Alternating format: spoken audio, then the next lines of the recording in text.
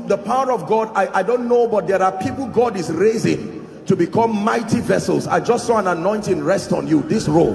In the name of Jesus, I don't know where you are, but I pray may that grace now,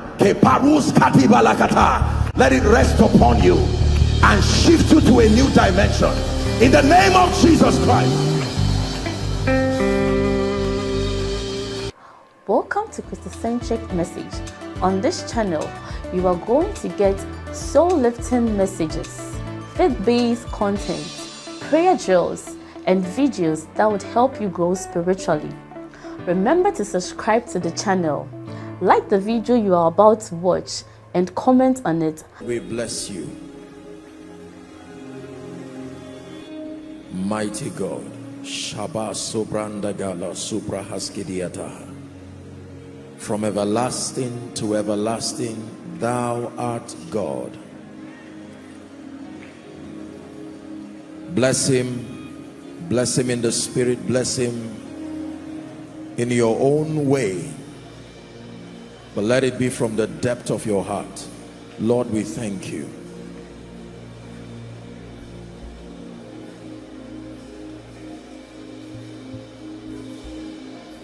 Now ask him for an encounter tonight. Father, an encounter that transforms my life. An encounter that will shift me to a higher spiritual plane. Is someone praying? For everyone that asketh, receiveth. Satisfy the longing of my heart tonight. Let your word come with fire let it transform let it heal let it deliver let it lift let it impart.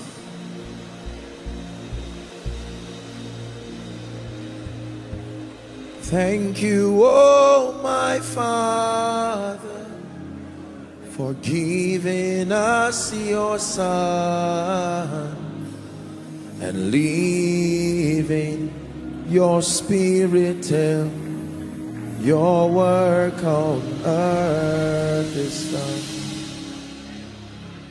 We thank you, oh my Father, for giving us your Son, and leaving your spirit your work on earth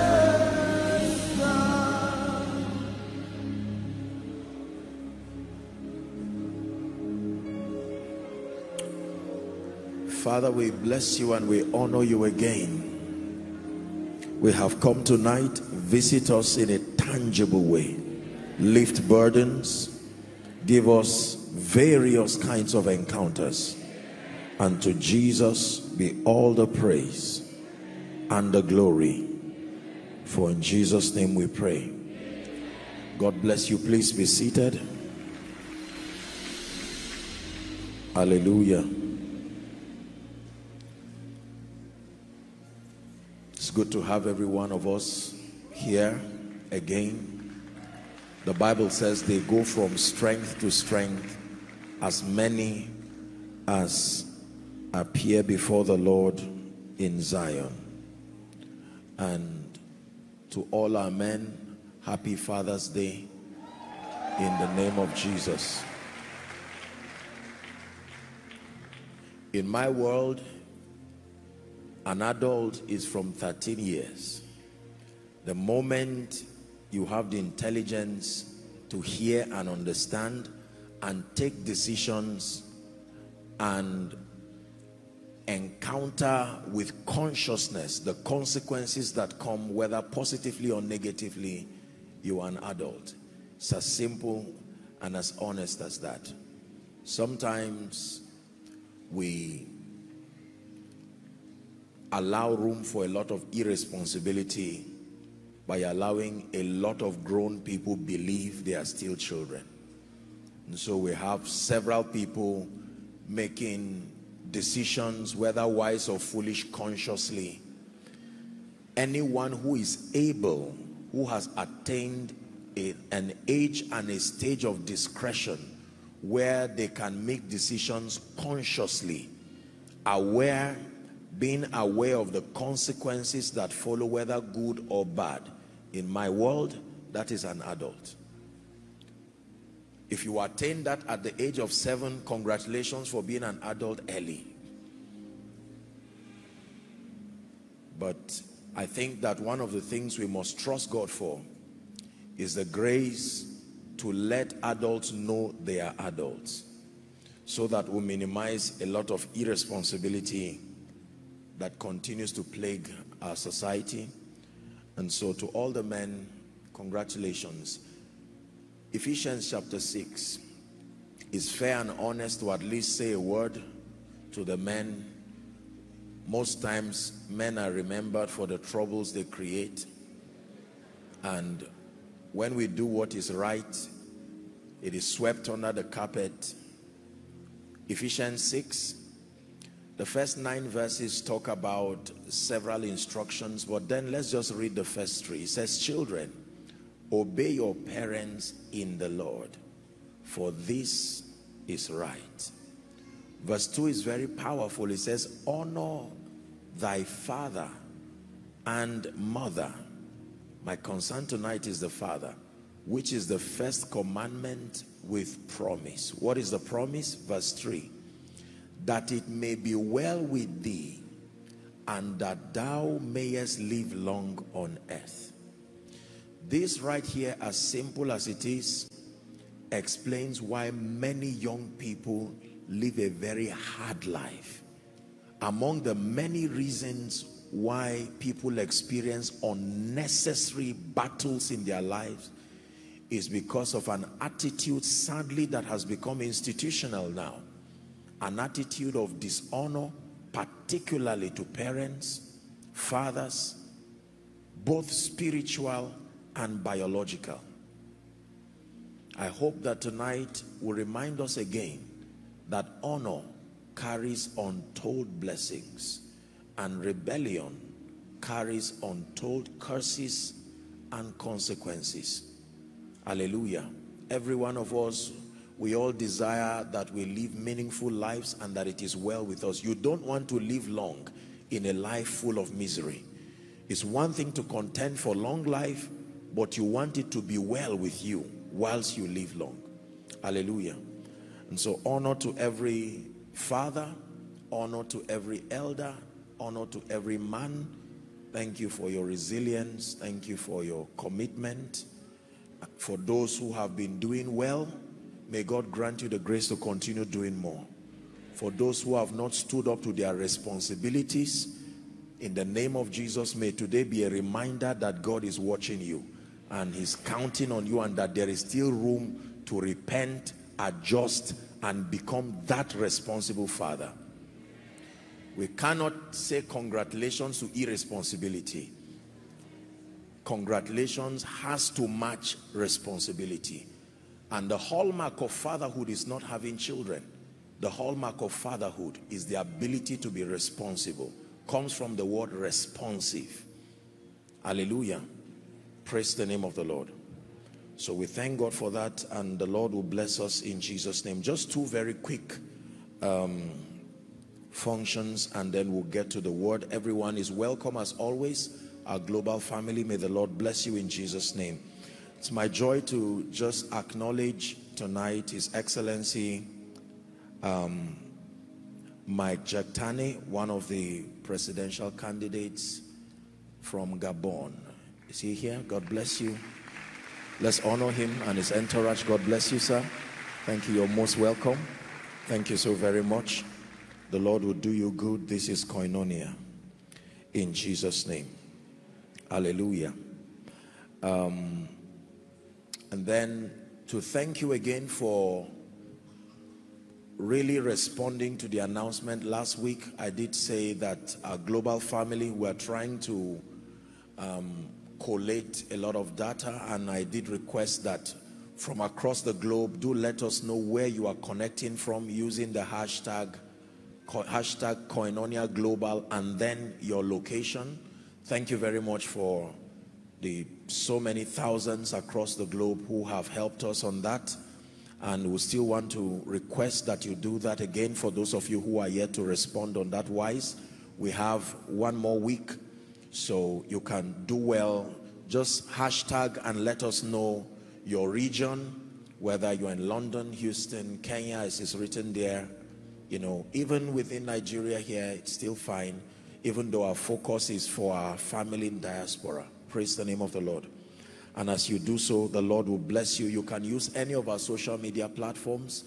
The media department is working hard to collate this and it will help and guide us um, in Jesus' name. The next is a very personal one. By God's grace, um, I usually would have broadcasts during my birthday. This is the, the high point for me. And um, by the privilege of God's grace, my birthday broadcast will be coming this Saturday, this Saturday, 25th June. Thank you. By 10.30 on the dot, we'll start and um, worship should start and then we'll just pick it up from there. It's very important. It's usually an opportunity for me, not, not just to celebrate my birthday, but to have, to be able to speak to our global family, and then to the body of Christ. There is always a burden that God puts in my heart. June is a very significant and strategic month for me, not just because of my birthday. One of the things you must learn is you must discern the operation of the Holy Spirit in your life. God is not doing the same thing every time. You, there are seasons where God has chosen by his predeterminate counsel to visit you to unveil chapters of your destiny is your assignment to walk in partnership with the Holy Spirit and to discern those moments. So it's usually a period of spiritual emphasis for me. And so please connect all of us here and our global family. Unfortunately, um, we may only allow the workers to be physically present because we're using one of the halls here, hall one so it can only take about 700 people or thereabouts. So that can only take the workforce, maybe just with one or two exceptions. I'm sure that for all workers, your heads of department will reach you on that wise. But to let us know that it is Saturday, the 25th of June, by 10.30 on the dot West African time, the worship should begin. And then latest by 11, I should come up and please do well to inform everyone. It is everything that concerns the ministry, concerns everyone who is connected to the vision. Our social media platforms will be up and running to capture this broadcast, especially our YouTube channel. So please do well to make sure that you are hooked on to Koinonia Global. I do not know um, how many other uh, probably television stations or channels will be connected, but we'll do well to make sure that we get it as far as possible. And let's hear what God would have for us in the name of Jesus. Thank you very much. Um,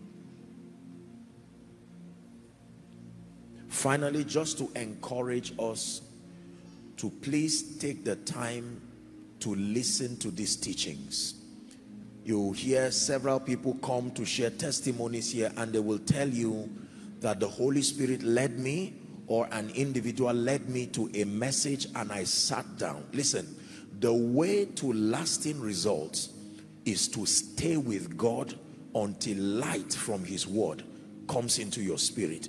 God is not a herbalist. He does not practice divination. Are we together? Prophetically, you can receive short-term results by the extension of God's mercy. But every time you want to obtain lasting results, please do not allow the devil deceive you to just play games and play pranks with your destiny. There is, by the grace of God, at least one teaching, audio or video that should be able to speak to any challenge or any issue of concern. Hallelujah. I will submit to you respectfully speaking that many believers are lazy just because of the advantage of things like favor, mercy, the ministry of the Holy Spirit. We have allowed it and, and we preachers sometimes I say we, including myself, we need to be careful how we mentor believers so that in a bid to help them know the truth, we do not culture a life of spiritual irresponsibility. It will always be man in partnership with God to make anything happen. Hallelujah. There are many believers who have several requests, several issues, and you ask them, have you taken any time to stay with God and to camp even for one day with a strategic message that speaks to that issue? For many, if they are sincere, the answer is no. We live in a world of fast everything, sharp, sharp. We want it to happen now. Sharp, sharp anointing, sharp, sharp whatever, except God is a God of speed, but God does not rush people. He said, Martha, Martha, you are worried and upset about many things, but one thing is needful. And Mary has chosen to sit. All those who ate bread at Jesus's crusade were first made to sit down. He said, let them, if you are too big or too in a hurry to sit down, then you will not have bread. Those who ate the bread and fish were those who were patient enough to sit down. Hallelujah when I find a subject that addresses an area or resources that address areas of ignorance in my life or limited knowledge, I can listen to one hour, a one hour message for three days. Sincerely, I will pause after 15 minutes and pray in tongues and ask the Spirit of God to reveal to me. And sometimes you can even have more light even than the preacher because of your hunger. Hallelujah. I love you sincerely from the depth of my heart and I desire to see everyone grow and attain stature in the spirit. There is one thing I will tell you. A life of spiritual irresponsibility will never translate to constructive maturity my assignment is to help. My assignment is to teach. My assignment is to guide and to mentor. And this is a covenant. I will do it with all my heart and for as long as I live. But every one of us under the sound of my voice and then speaking to our global family, we must be prepared to take responsibility. I consider any believer an unserious believer if there are many life-threatening issues around your life and then you are not sourcing for the spiritual resources that can bail you out. It is amazing how many believers continue to play games with their life and then when you look at their lives you find out that absolutely nothing is working. Spiritually they are down. Prayer life down as far as spiritual intelligence is concerned zero or f are we together financially they are broke they are suffering no favor Nobody helps them, even their loved ones. How could you be at ease under that kind of condition?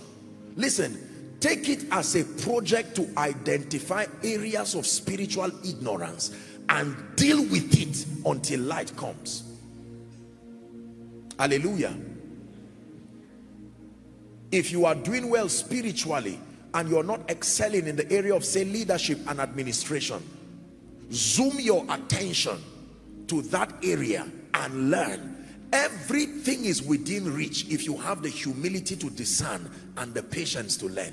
There are listen for most of the resources that make for an excelling life money is hardly a tool that you would need to get them in our world today you would need to use another kind of currency like honor like meekness like patience like hunger these are all currencies the bible says buy the truth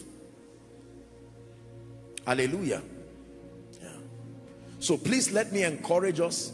There are many people who are tapping into this, this frequency of spiritual seriousness and you see that the testimonies are showing. But there are many others who are still giving flimsy excuses and hoping that superstitiously or magically the Holy Spirit will just exempt them from the woes that are scheduled in and to any life that does not take God seriously. It's a risk to be passive and careless and nonchalant not in today's world. Hallelujah. So please obtain grace. Obtain grace thank God for the area that is working but focus on the area that is not working and say Lord grant me grace. Let by your light let me see light. What is it about these finances that it seems to stare me at the face? I am a man of God or I'm a businessman or I'm a father and I'm unable to take care of my family. I'm tired of the shame and the reproach that comes from spiritual ignorance. Rather than just blaming demons, even if demons are to be blamed, what do you do? Do you sit back there and just say, okay, demons are to be blamed? Hallelujah. I think we should pray in one minute. Ask the Lord for grace to be serious. Please cry from the depth of your heart. Lord, thank you for helping me so far but I take full responsibility over my destiny. I confess ignorance in this area and in that area and I am determined like a responsible believer to take advantage of the resources that you have placed within my reach and contend for light. Someone is praying. Someone is praying.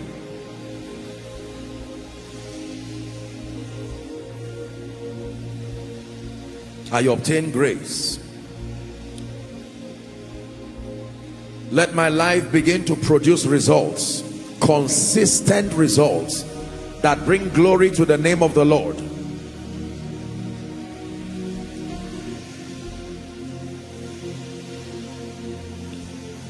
For in Jesus' name I pray.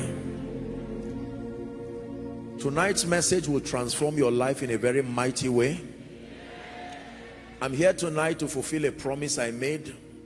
I promised that I was going to do a very powerful teaching um, and that I will reserve that teaching for our Father's Day and today is that day. So this is a message that applies to everyone but then I'm dedicating it specially to all our men and all our fathers May the Lord grant us grace. In the name of Jesus, redefining inheritance. Redefining inheritance. Please write it down and let's pay attention as the Holy Spirit speaks to us. Redefining inheritance.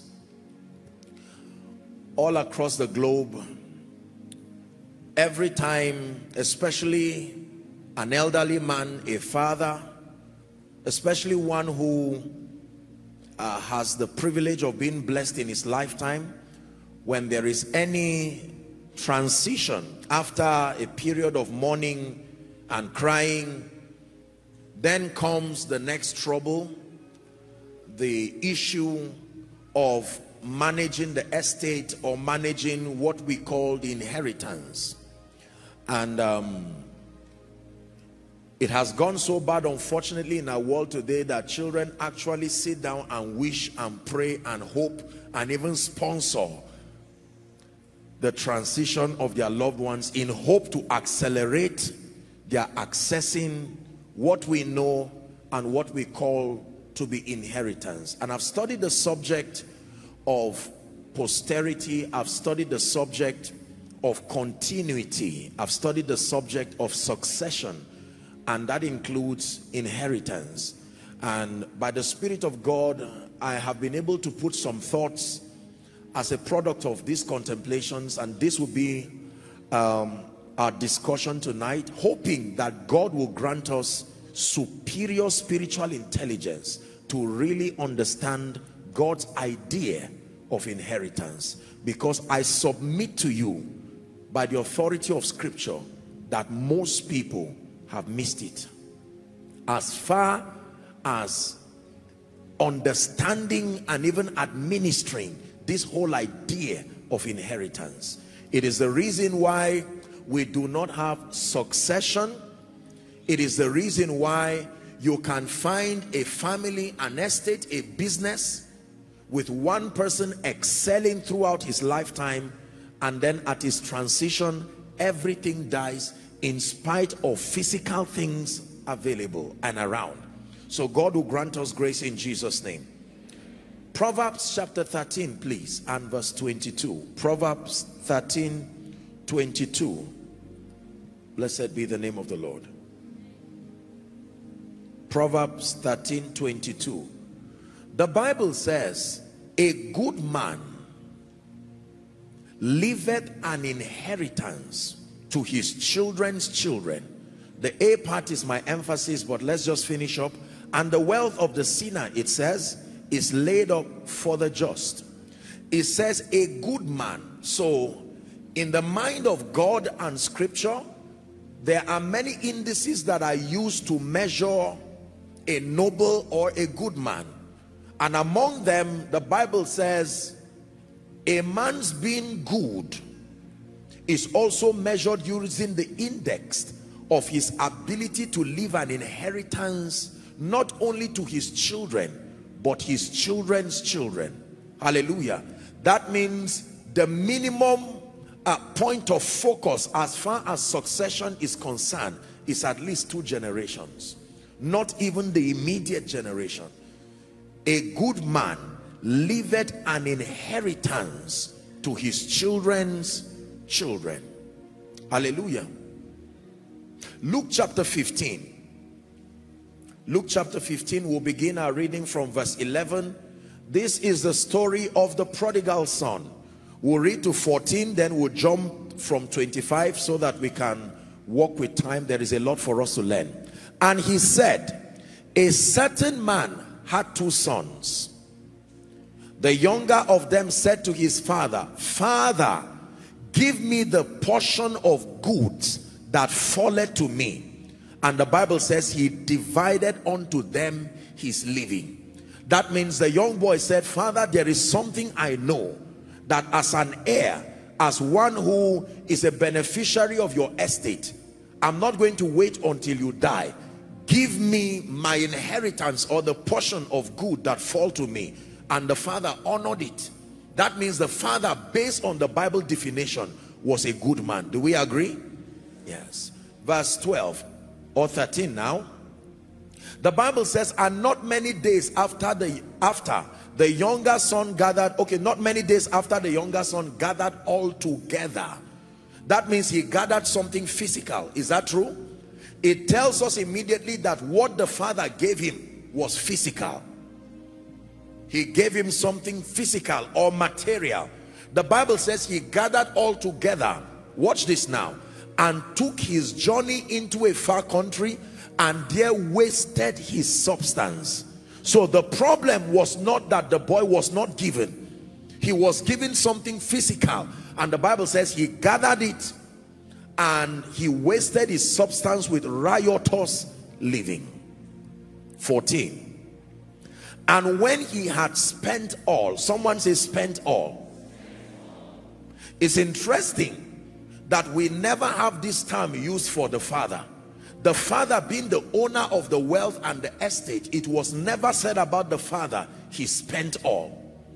And yet when we get to the son an expression is introduced now that is very disturbing that the young boy spent all. That means that inheritance already this tells you is beyond physical things because he was given and yet the Bible says there arose a mighty famine in the land and he began to be in want. There was a day he was not in want, but he began to be in want. Let's go to verse 25. Now the elder son, this gentleman had returned back home, you know the story fed with swine until he was broken, repented, came back, was restored. Now a feast was organized in honor of his return. And the elder son was in the field. The Bible says, and as he came and drew nigh to the house, he heard music and dancing. And he called one of the servants and asked what these things meant. 27. And he said unto him, thy brother is come and thy father had killed the fatted calf because he had received him safe and sound what a good man and he was angry the elder brother now and would not go in therefore came his father out and entreated him And he answering said unto his father, Lo, this many years do I serve thee. Pay attention to that. This many years do I serve thee. Neither transgress I at any time thy commandment. And yet thou never gavest me a kid that I might make merry with my friends. Verse 30. The father made a statement in 30 and 31 that is very instructive. It says, But as soon as this thy son was come, which had devoured thy living with harlots, thou hast killed for him the fatted calf. 31. And he said unto him, Son, thou art ever with me, and all that I have. Everybody say, All that I have. ah, that means there was more that he had than the boy got. He said, The boy got some things, but you are with me. All that I have. We want to examine what are the all that that man had. Because the Bible lets us know that he gave the guy physical things. And that is all that most people know to be inheritance. And the boy left. Because he received physical things and did not receive others, he came back in shame and the father said, don't worry. Don't regret that I gave him physical things and I did not give you.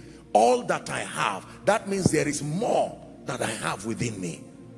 Father, give us understanding. In the name of Jesus Christ. In my study of scripture and the privilege of mentorship from exceptional people cutting across ministry, the business world, leadership, and veterans, people who have mastered life in its entirety. I have learned from scripture that when the Bible talks about an inheritance, there are five things that qualify to be called an inheritance. And please listen to me. Even if you receive only four over that five, you did not receive the inheritance.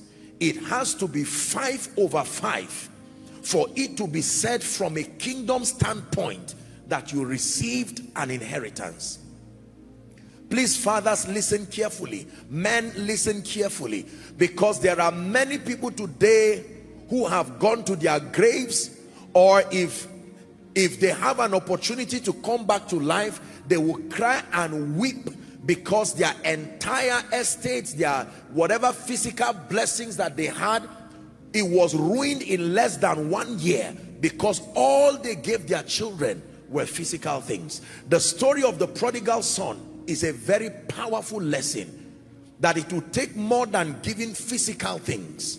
Are we together that when you want to transfer an inheritance you don't have to be dead. You can transfer an inheritance even in your lifetime.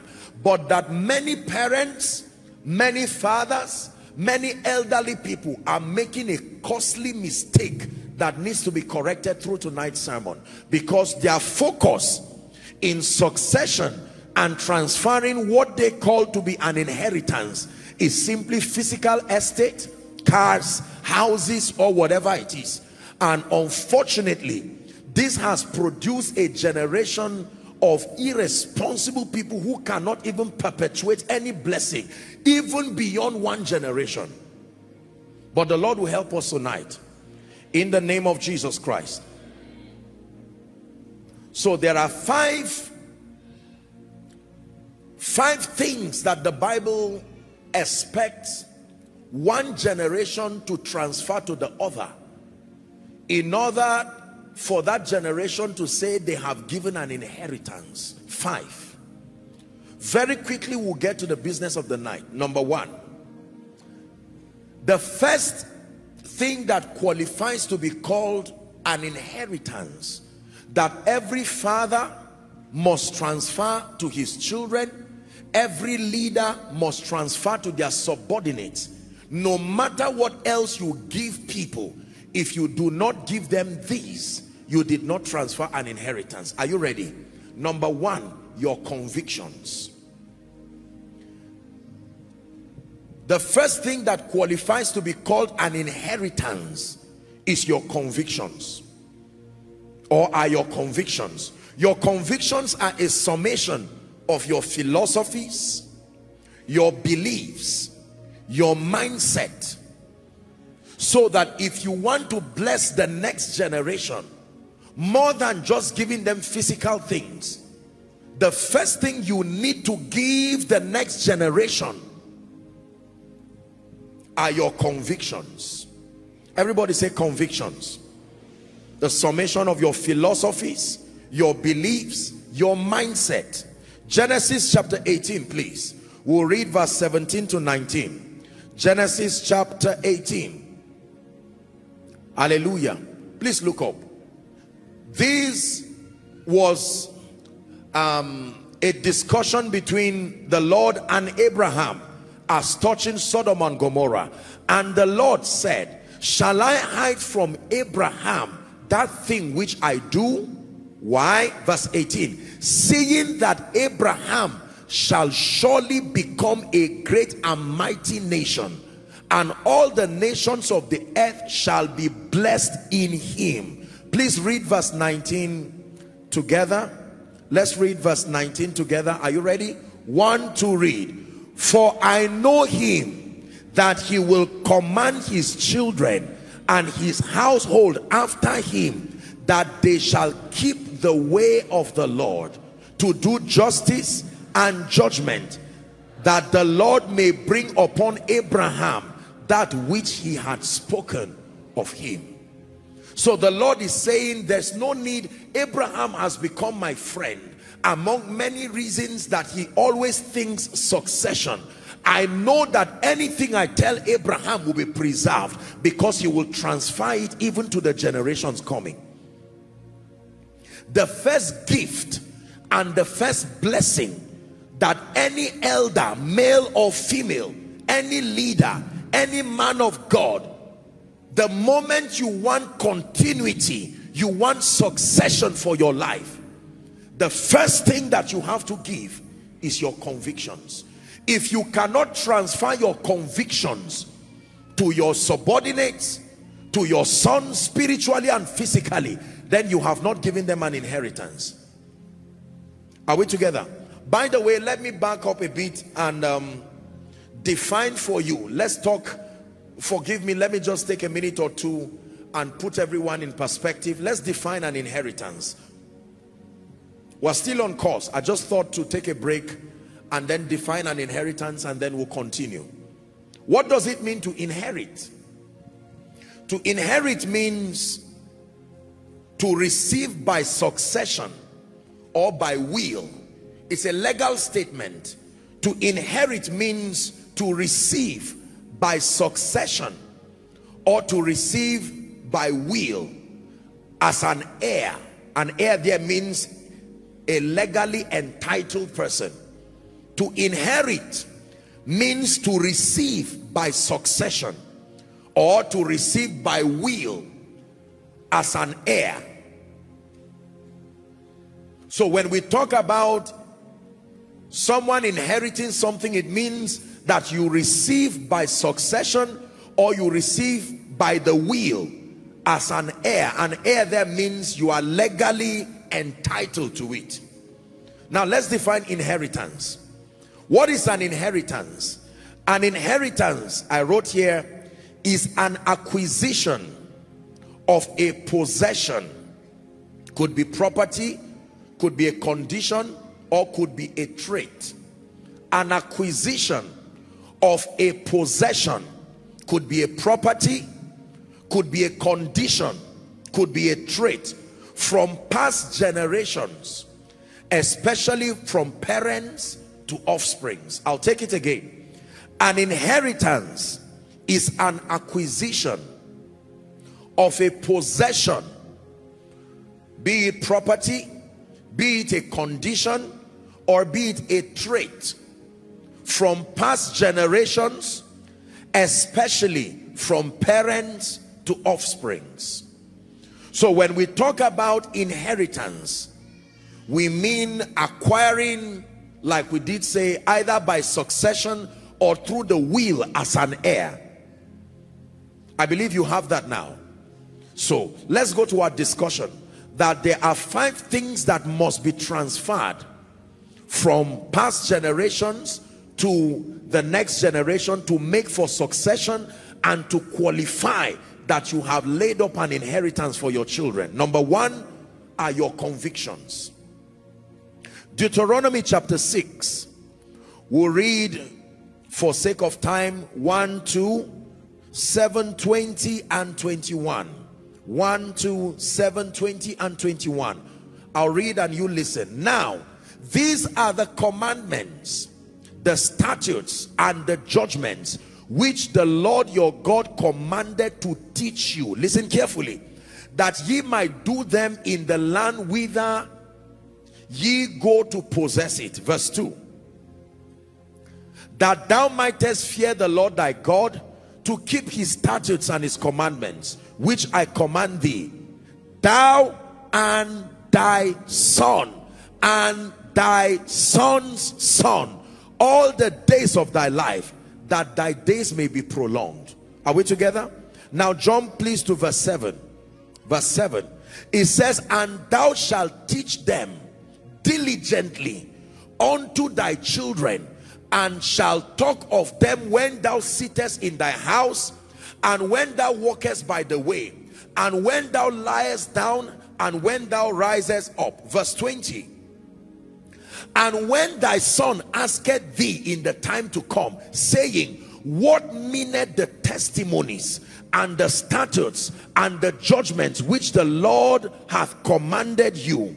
21 it says then thou shalt say unto thy son we were Pharaoh's bondmen in Egypt and the Lord brought us out by a mighty hand. And then you read and read and it continues. Now the point is this that he's admonishing them that listen everything you are learning by reason of your experience that is building your conviction. Make sure you are close enough to your children that you do not leave without teaching them. Practice them in front of your children and let them ask you questions. Why do you believe this? Why do you know this? There are many wealthy people many anointed people many great people who never reproduce themselves do you know why because they are unable to transfer their convictions the first thing to transfer to your children or to the generation coming are your convictions, not material things. Is someone learning? Convictions. Now, aside from the Bible, second only to the Bible, I have been thoroughly blessed and transformed by the industry we call the personal development industry. Hallelujah where we have men and women who have been able to shape our philosophies and our approach to life. Um, one of the stories that comes very readily to mind was the story of a wealthy man, arguably the first billionaire recorded in the United States when they became a nation by the name Andrew Carnegie. Listen very carefully. Andrew Carnegie was a very successful man, history would tell us.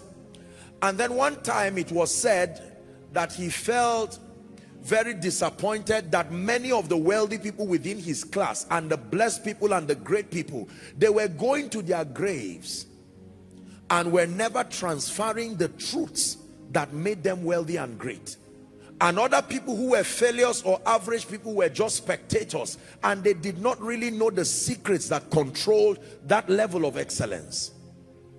And then he got a young man like many of you know and may have heard called Napoleon Hill. A young man in his 20s history would tell us. And a young journalist. And he gave him an assignment. Listen carefully the assignment was that I would give you letters of recommendation. Go and meet every one of these great and successful persons and I want you to interview all of them one by one. Piece together their philosophies and put it together in a concise format so that when we are long gone we will be able to leave our convictions for the generations that come. And Napoleon Hill took on that journey and for a period of about six years there about he went around interviewing all the greatest and the brightest of the minds at that time and came together with 13 principles captured in a book that we know many of you may have heard about it called Think and Grow Rich. That was the product of that research vetting and interviewing all of these bright minds what philosophies did they honor to have produced such excelling lives? Hallelujah. When i read that story many years ago it was so instructive. Listen to me.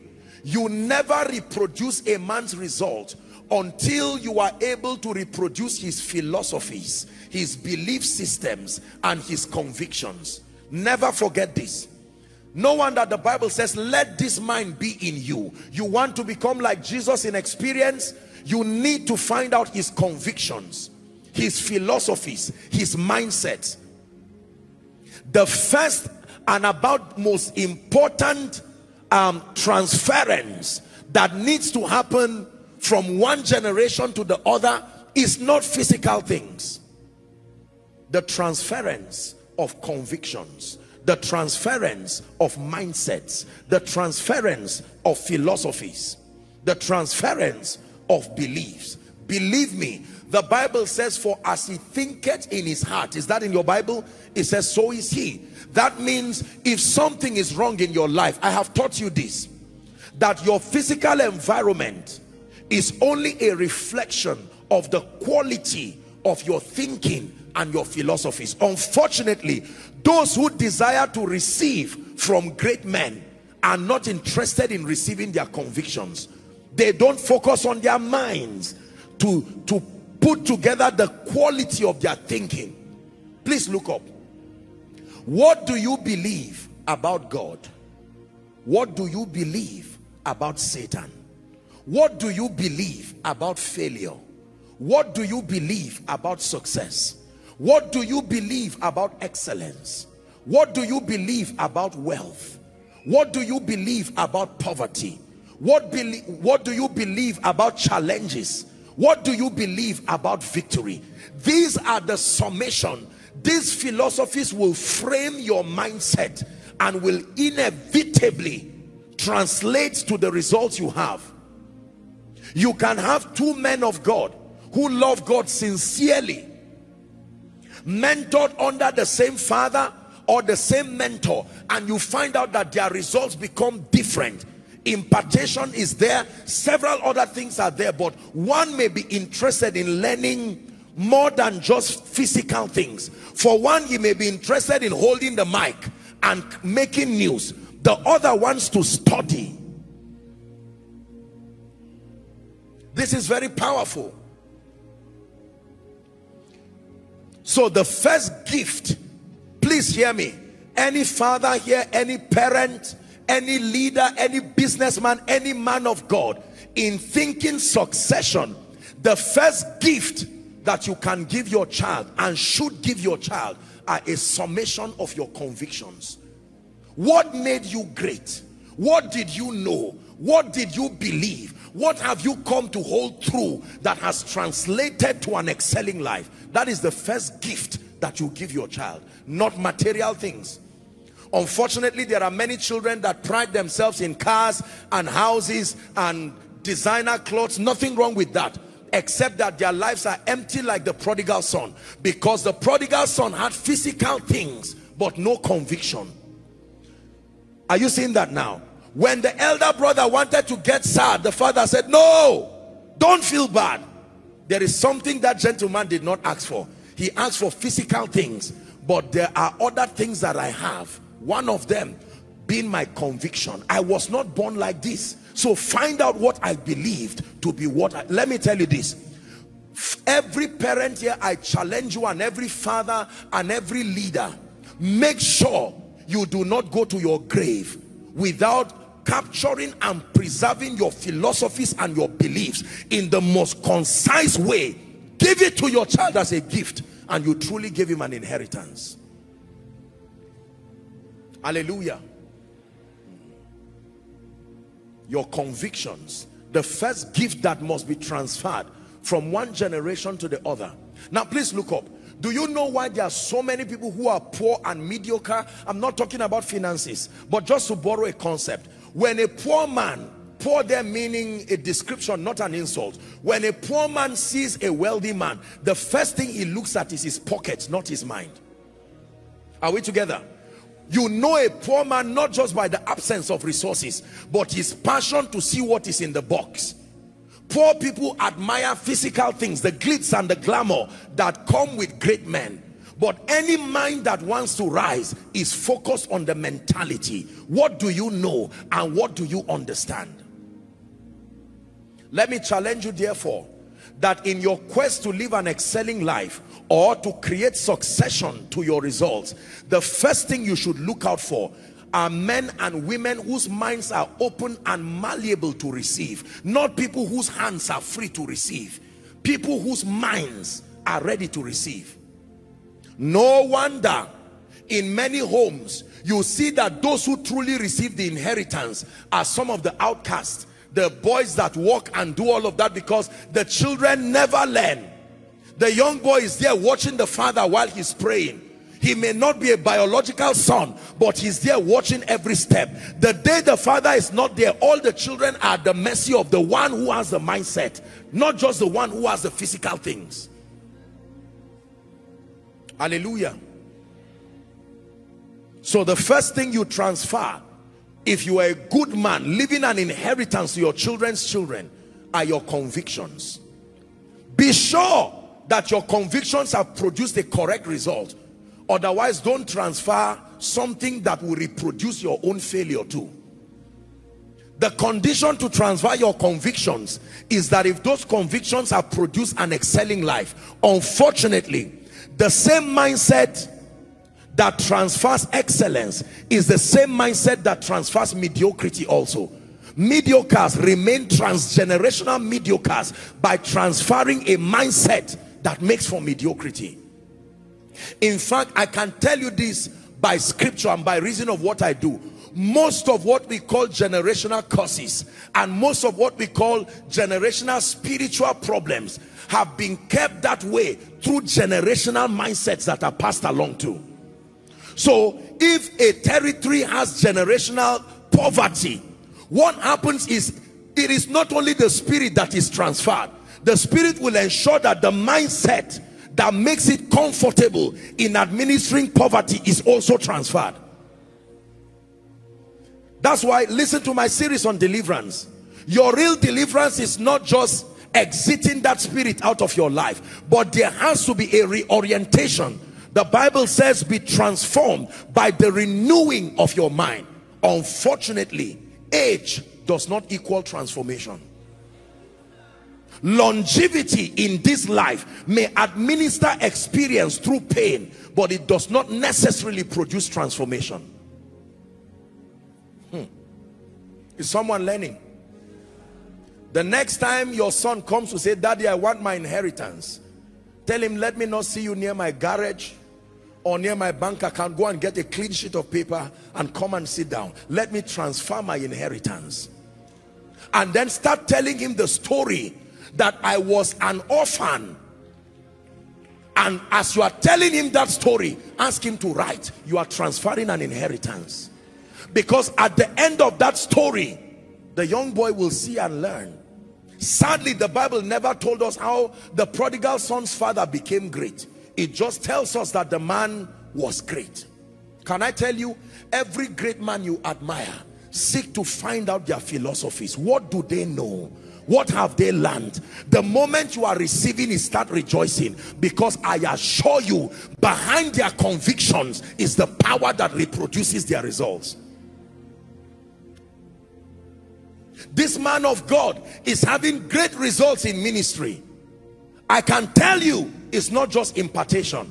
Go and find out what are his covenants with God what are the things that informs his mindset?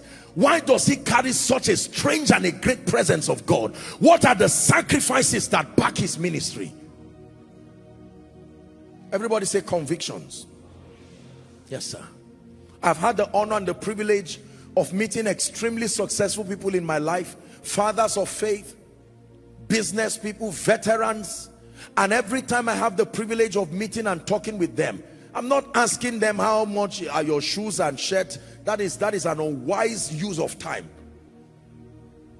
I go straight to ask them, please can you tell me your story? And then I'm looking for the punchlines in the story. When you change your mindset, when you made a decision, and I find keys there. In the name of Jesus, I speak over your life. The keys you must find the transference of beliefs that produce an excelling life. May God help you to be sensitive to it. Hallelujah. Please sit down. Do you know that history and even statistics tells us that those who are closest to great people hardly become great themselves. You know why? Because their focus is on the results. Usually it's those who do not have that privilege of access. They are the ones who keep looking and between the lines they find keys.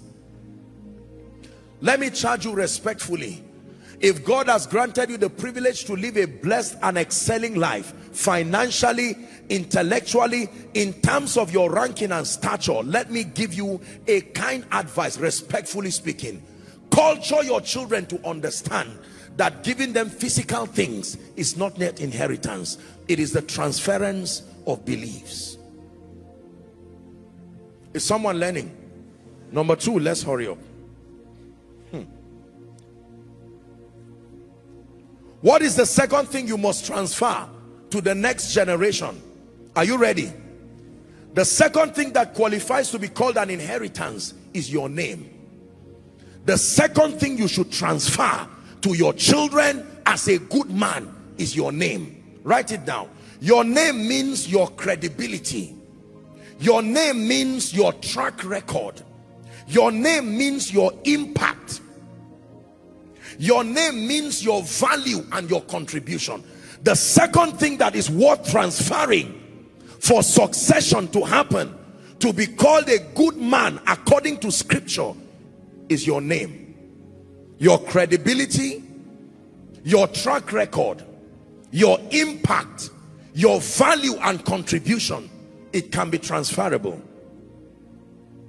Very very powerful Genesis chapter 12 and verse 2. Genesis 12 and verse 2. Someone is learning. It says, and I will make of thee a great nation. Is that in your Bible? And I will bless thee and make thy name great. Let me tell you the difference between being great and having a great name. When you are great, you are great for yourself. But when you have a great name, other generations can use it as a leverage Today we buy products. We are not buying products. We are buying names. Are we together? When you go to a store and you say Louis Vuitton or Angelo Galasso or Gucci, you are calling the names of people. They transferred that name. At the end of your life, your name will either be a key or a padlock. There is no being neutral at the end of your life whether as a preacher as a leader as a businessman and as a parent your name to those who are before you will be a padlock or will be a key. It will either lock the doors and the destinies of people multiplying hardship or it will open doors for them.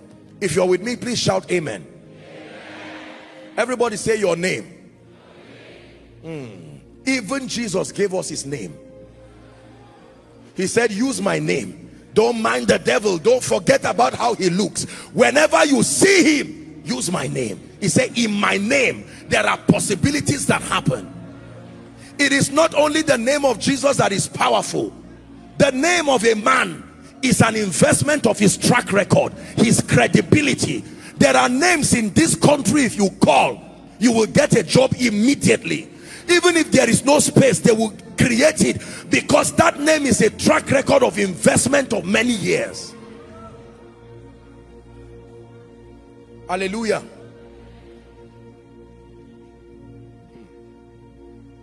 There are people who when favor is about to happen to you you keep praying that the name is not mentioned within that environment. Because the moment that name is mentioned there will be a reversal of that favor. John, which John? The, the tall one? No, please leave my office.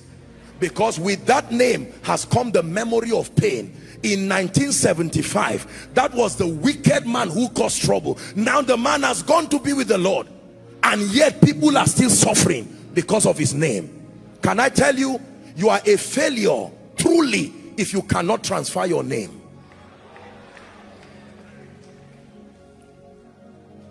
i don't mean the spelling of it i mean the power that you would have accumulated in that name through many years. So next time your son comes or your daughter or your subordinate and say give me my inheritance tell them i hope you are not talking of money. Sit down. Let me tell you the name you carry contains within it favor.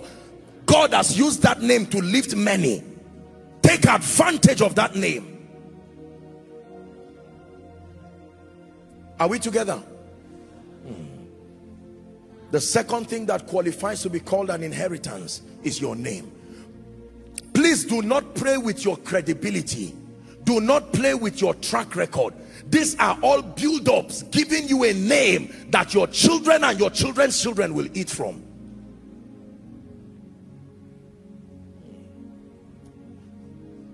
There are people who may not have physical money but their children will never beg for food. You know why?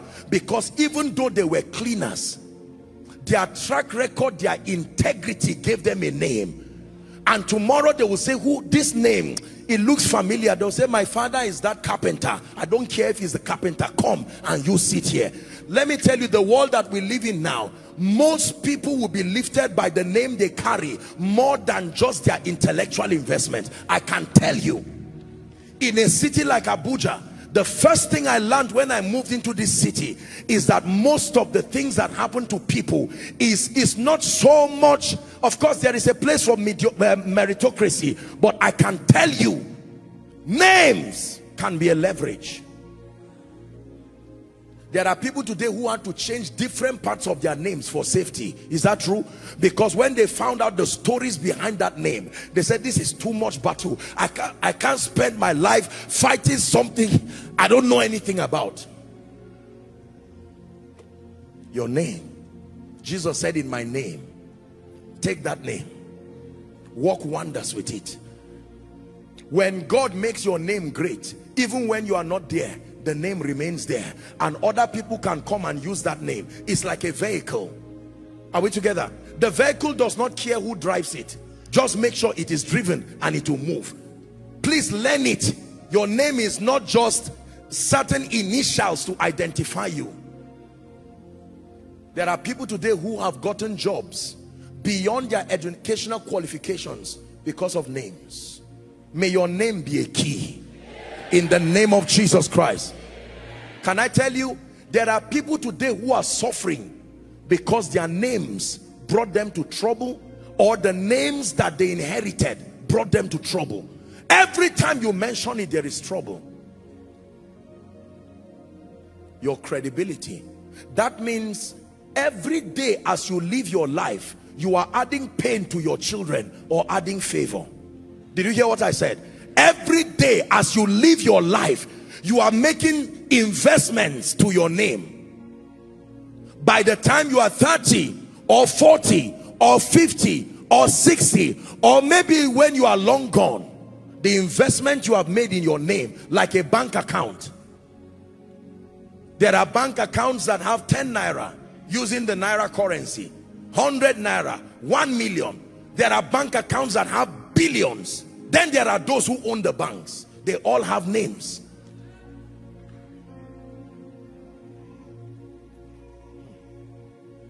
There are kings. There are kingdoms. There are mountains and there are thrones. But only Yeshua will reign forever. To his kingdom there'll be no end. My goal is that God will use by the privilege of his grace, whether my name the name of this ministry that it will become a key both in the physical realm in the economic realm in the spiritual realm in the political realm. There are master keys. They can open any door. Why is it the key in revelation called the key of david that is the key that can open a door that no man can shut. Please hear me. There are many of you the way you are living your life now you are not yet seeing the effect. Is when your children come or when they grow you will know that you have spent your life investing pain from the wickedness to the jealousy to the attitudes that you keep bringing. You got a job and nobody can get that job again because of you. You oppress people and you are acting i am alpha and omega. Respectfully speaking one day you will retire. And then when you retire you will now find out that there are children coming. There are lecturers who victimize students and destroy them. Today those their children cannot get jobs because they never gave people a chance for a great life do not pride in being a wicked person. You are programming pain for your children. The second inheritance that you must pay attention to is your name. Hmm. your name. Your name. Jesus protected his name protected his name and guarded his name because he was going to give us that name.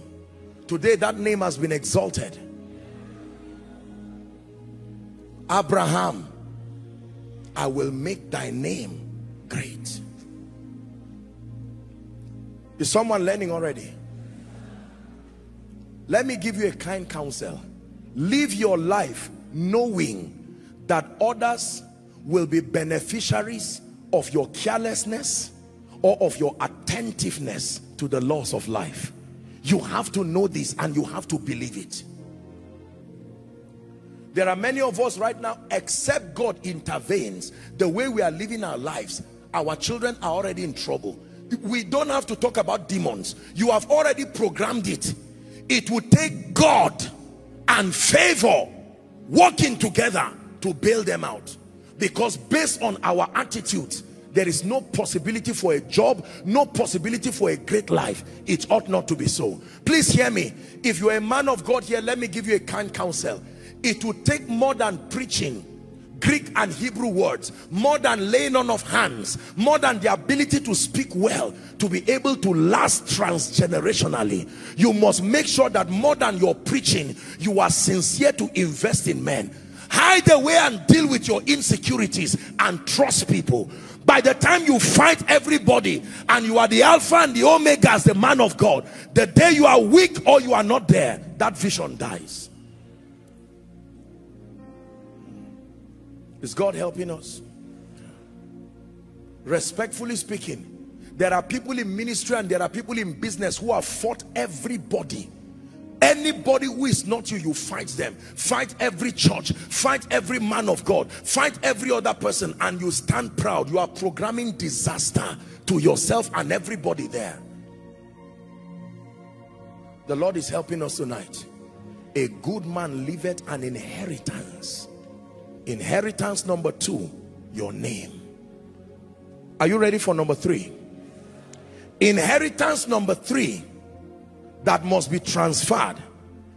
In fact i didn't finish. Let me give you two more scriptures on that name. Proverbs 22 and verse 1 it says a good name proverbs 22 and verse 1 a good name is rather to be chosen look at the bible than great riches that if we keep riches here physical riches and we keep a good name he advises you to choose a good name. Because a good name can buy riches but riches cannot buy a good name. Ecclesiastes 7 and verse 1 Ecclesiastes 7 and verse 1 again it says a good name is better than precious ointment. Man of God anointing is powerful but make sure with that anointing you have a good name a credibility and a track record of loving sincere people. I was returning from um, our trip you know coming back to prepare for the service and I was handed a newspaper and I was just going through it and I saw somebody wrote something that blessed me so much. He said um, i hope i can remember. He said there are many people who are powerful but very few people are loving. I said wow this is so instructive. Many people are powerful. Do you know how many men of god have power but there is no love how many business people have resources and intellect but you come near them you want to run away. They don't look like christ at all. It says by this shall all men know that ye are my disciples. Not when you pray in tongues not when you raise the dead not when you teach properly. Much more than all of these things i am telling you the greatest uh, virtue that qualifies you is your love life. Are we together you will be surprised that there are many people as sound as they are spiritually as intelligent as they are intellectually they never find help and nobody wants to come around them. You know why? I have taught you and we teach it a lot in the school of ministry that people do not care what you know until they know that you care. They don't care what you know it's none of their business. Carry your Greek and Hebrew carry your anointing take it places they want to know that you genuinely love them. If you keep power and keep love, I will pick love a thousand times before I pick power. Because what defeated Satan on the cross was not power, it was love. There abided these three. Faith that moves mountains, hope that makes not ashamed, and love. It says the greatest is love. Is someone learning? Now let's go to number three. What is the third inheritance? You must transfer to the generations after you. Your relationships and connections. Number three. So number one, your convictions. Number two, your name. A summation of your credibility, your track record, your value, your contribution. Number three, if you ever want to bless your children your subordinates or the people you are raising give them the leverage of your relationships and your connections. Hmm. John chapter 19 please. John chapter 19 let's read from verse 26 God is speaking to someone tonight. Now watch this. This is Jesus hanging on the cross and he sees remember all the disciples had gone away from him. But there was this one person John and his mother standing before him. Watch what happened. When Jesus therefore saw his mother and the disciples standing by whom he loved because he loved him he said unto him mother behold your son. And then 27 he said to the disciple behold your mother and your bible says from that hour that disciple took her home. That means this is the woman that made me mighty. I know you call me Jesus but respect the woman who raised me until the Holy Ghost came. I transferred that relationship John. No wonder he did not die a natural death. The same way it, it took listen Jesus had to lay his life down. And until his time was on all other disciples and apostles were martyred except John the beloved not John the powerful. Find out what Mary did when Jesus handed over her to him. Don't you think Mary was an ordinary woman? The angel spoke about her and said you are favored. There were things she was carrying. And he said John I want to give you a gift for standing by me on the cross. I hand you over to this woman. Follow her. She will do something to you do you know what it means to carry the word of God in your womb for nine months? You will never be normal. Never be normal. Hear me please. Relationships are a potent leverage. You can hand over relationships and cut short somebody's 10 years of suffering. The third inheritance. God is changing someone's life. Your relationships to the point that when the Holy Ghost when Jesus was going to heaven he said don't worry. There is a relationship I'm about to introduce to you. Don't worry. I am leaving but do not cry. There is one called Allos Parakletos the paraclete himself. I am about to connect you to a relationship and when he that spirit of truth is come that he will guide you you will no longer be ordinary men. All it takes is a relationship please listen. You have heard me say it that who hates you does not matter but who likes you matters. A king hates a woman and without fighting her she stopped becoming queen immediately. Then the king likes a village woman and immediately she became queen. Please look at me. Can i tell you this? Every great man is great among other factors because of the relationships that protect and defend him at that realm. You have not transferred real wealth until you transfer your relationships. Now many non-christians understand this and they begin to program their children. You've seen that happen. They program their children to have strategic relationships political relationships economic relationships judicial relationships military relationships only believers we pray in tongues and yet we are bankrupt of intelligence Please sit down. The house of God is a place of wisdom. Next time your child says, I'm ready for my inheritance. Tell him, go to the house of the uncle that helped me and go and wash his car. He says, I'm too big. Says, sit down. You are not ready for a relationship. You are not ready for any inheritance. Don't give him any car key for anything give him relationships every man is made by his relationships because all blessings come from God through men to men nothing comes directly comes from God. If God says yes and a physical man says no that yes will remain in the realm of the spirit there. Is someone learning? Please look up. I can tell you this. My life today is a product of strategic relationships. There are hard things that have become childishly easy because of the leverage of relationships the relationship with the Holy Spirit the relationship with strategic men please do not downplay the power of relationships look at me how many of you have strategic relationships within the judiciary if you are in trouble today, nobody loves you enough to help you. You will suffer, both Satan and men will work in partnership and rubbish your life because you have not seen the value. Many of you have fought and insulted politicians. You have insulted everyone. The day you now need help and you need the gates to be open for you. There are times that you can be Joseph, but you will still be in prison. It will take the king to send for you to come out of your dungeon. Hallelujah when you see businessmen and politicians I'm, I'm, not marketing any of them but I'm just teaching you wisdom you've heard me say when a businessman will leave America and come to Nigeria to celebrate the birthday of a two-year-old billionaire son. Is the baby his mate? Can the baby talk to him? What do you think he's doing? To fly a private jet hundreds of thousands of dollars to come and greet a baby is more than a baby.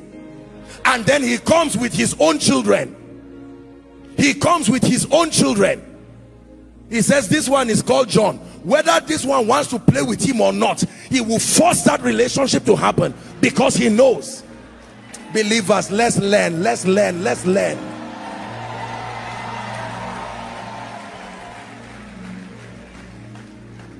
Please sit down. The Bible says which man intending to wage war against a city will first count whether he has what it takes to fight. And if he discovers he does not have the next thing is the way of negotiation and relationship for peace to reign. There are people today they do not have money but they can cough out billions out of relationships and it will answer.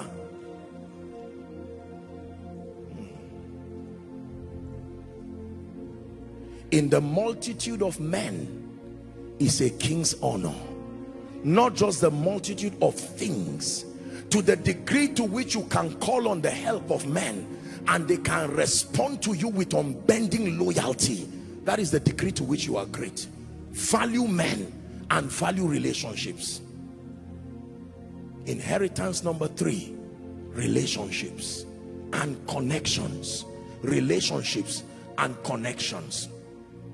Someone once asked me a question one day. I told you he said how come you are close to a lot of you seem to have a lot of generals and military people and paramilitary. What is between you and military people? I said god knows the kind of call upon my life. That's why he brought those relationships. If you touch me both god and men whether you go to the realm of the spirit or from the physical realm there is a system that for sure.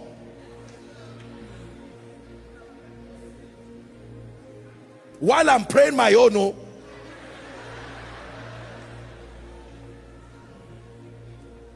Listen, let me encourage you here. Please look up. Let me ask you a simple question. I've asked you this, but I will ask it again. Can you mention one person in your life right now who you can actually call and say, I need help by 2 a.m. And you will wake up and say, I value you so much. Help is coming. If you don't have such a person in your life, believe me, you are sitting on a time bomb. There are men of God who love the Lord sincerely, but they lack strategic relationships. I'm not talking of parasitic relationships that every time people see you, they know that this taker has come. There are people in this nation, if their car gets burnt, in the next one hour, another car is coming. Even if it's for temporal use, they will never be left in shame. There are people today, if their house gets burnt, they will have a place to spend the night. Can I tell you this? Among the many things you invest in, please invest in men. This is the world of men. Place value on men. I was very honored and even flattered when I came in. I thought I did something wrong. I saw you people shouting and clapping. On one hand, sincerely, I'm a very conservative person. I can be shy and except when I'm on stage, of course. Once I'm not on stage, when I'm on stage, that anointing is on me, so I, I don't really care. But outside of that, I can, you know, but when I saw you clapping, on one hand, I felt, of course, I didn't, it wasn't necessary. But on another hand, I was praying. I said, Lord, may somebody learn it. Who loves you enough to be there for you? Don't barge into a future you did not invest in and expect a stake in it. No. Who's, who did you help to rise? When someone was crying, were you there to wipe the tears? If you were not there when I was in the cave of Adullam, don't expect an invitation when I'm celebrating. Listen, one of the easiest ways to rise is to find something working and someone rising and be part of the history of growth. Hallelujah. By the privilege of God's grace, with the bit that I've been able to do for God in ministry and leadership, I've had the honor of seeing some of my dear people within the ministry and by extension spiritually. I've seen the mighty and the marvelous things that God continues to do with them in ministry, in leadership, in business. And when I sit with them and they share this with me, my heart is genuinely gladdened. Can I tell you, as tired as I am, there are people when they call, I will wake up. Don't ask me who. If you don't know, you are not it.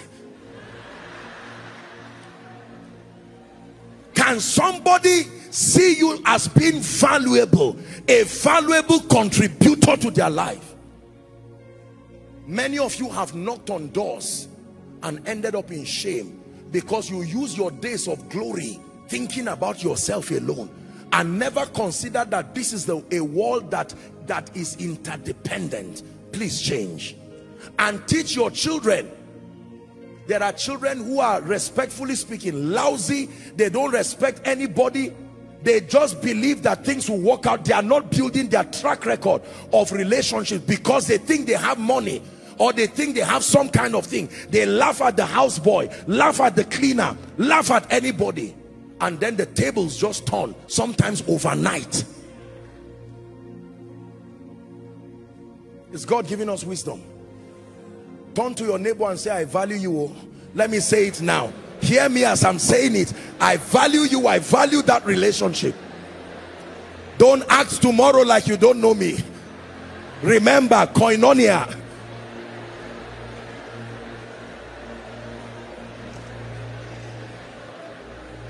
look up please. Praise the lord. Praise the lord. Now please look up. Look up. Do you know hear me. Do you know that relationships can create not only leverage they can create exemptions? It is true. There are people today who have owned land they did not pay for houses they did not pay for relationships paid for it who knows you and loves you by reason of your committal and genuine sincere connection and contribution to their lives? There are people everybody who is close to you you have hurt and wounded and caused pain. Life is watching you. Tonight is a night of repentance change because you are programming wars over your children. Whilst you are seated there in one minute please lay your hands on your head and say lord grant me the wisdom the wisdom to maintain strategic relationships and then the wisdom to start connecting my children and my children's children to the strategic relationships that have worked for me. Please pray. You are a young man here. Pray for the grace to build strategic relationships. You are an elderly person. Pray. Father the grace to maintain the relationships that have helped my success and that my children will have the discipline and the humility to value relationships.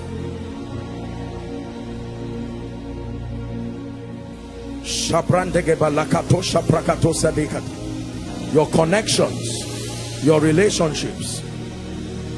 Hallelujah. Praise the name of the lord. True story. One of these times i, can't remember which which of the years now i was trying to process a visa for one of the nations and then when i was doing my biometrics and i just sat in front and a gentleman saw me and was happy he was rejoicing and he said apostle I can't believe it. I said, what can't you believe? I came to get a visa. What kind of embarrassment is this? Do the needful and let me leave this place. And he said, no, let me tell you a story. You had come to preach on our campus so, so, so years ago. And this and that and that. And I'm walking in this place right now. And he was laughing. He got up and went and spoke something to a woman. I don't know what they discussed. But he returned back and I laughed. I said, Lord, you see how easy some things can be I've shared with you an old story here when we're in Zaria, we're told that story. That some people were, a gentleman was going to NDA.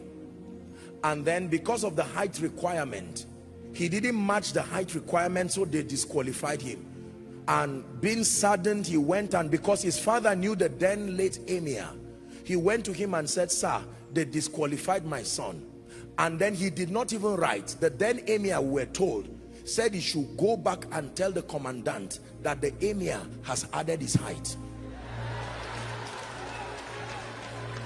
that's right who can add your height in this wicked world that we live in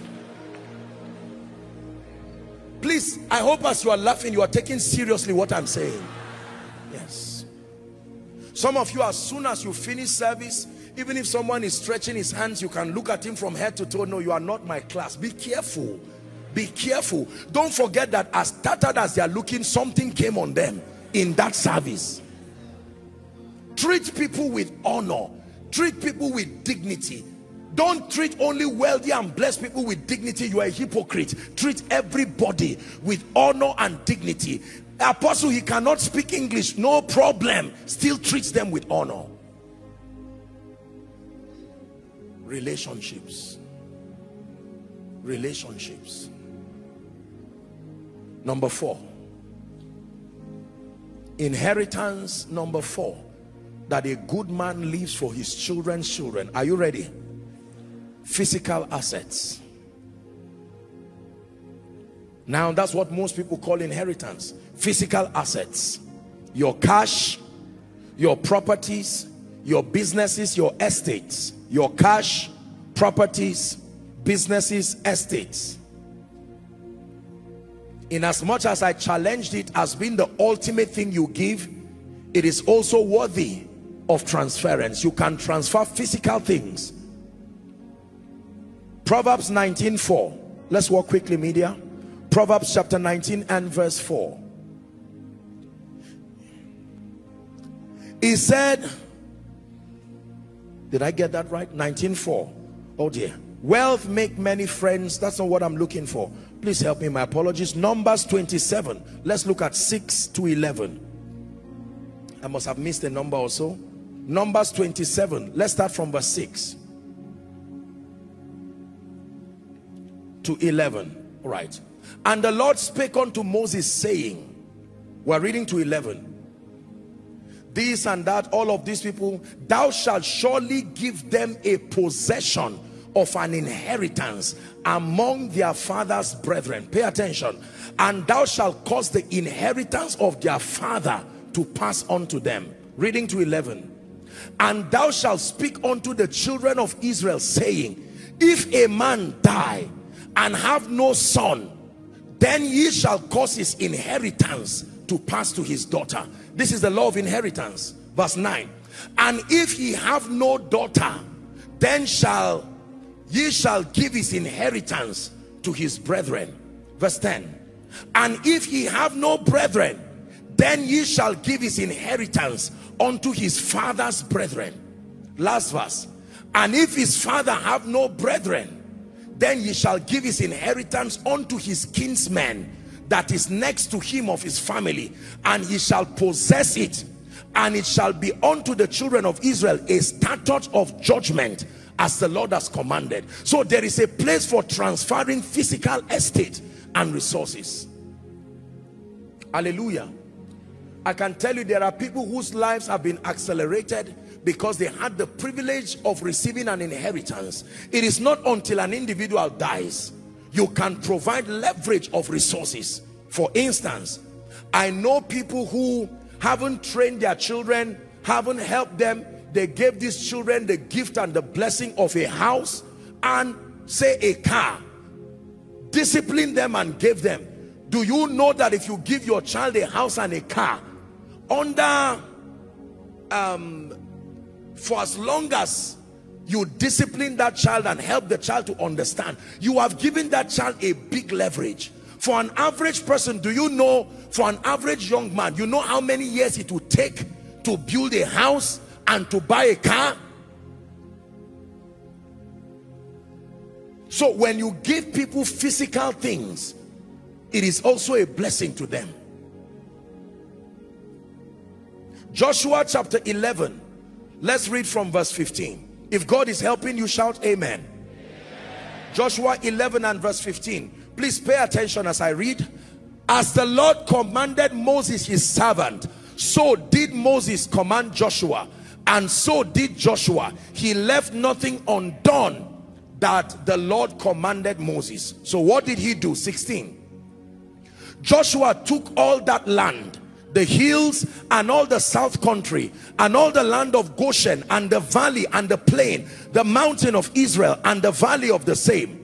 We're reading to 23. Even from the Mount Halak that goes on to Seir, even to all of those mountains, to Lebanon, Hammon, and all their kings he took and smote them and slew them 18 Joshua made war a long time with those kings there was not a city that made peace with the children of Israel save the Hivites the inhabitants of Gibeon.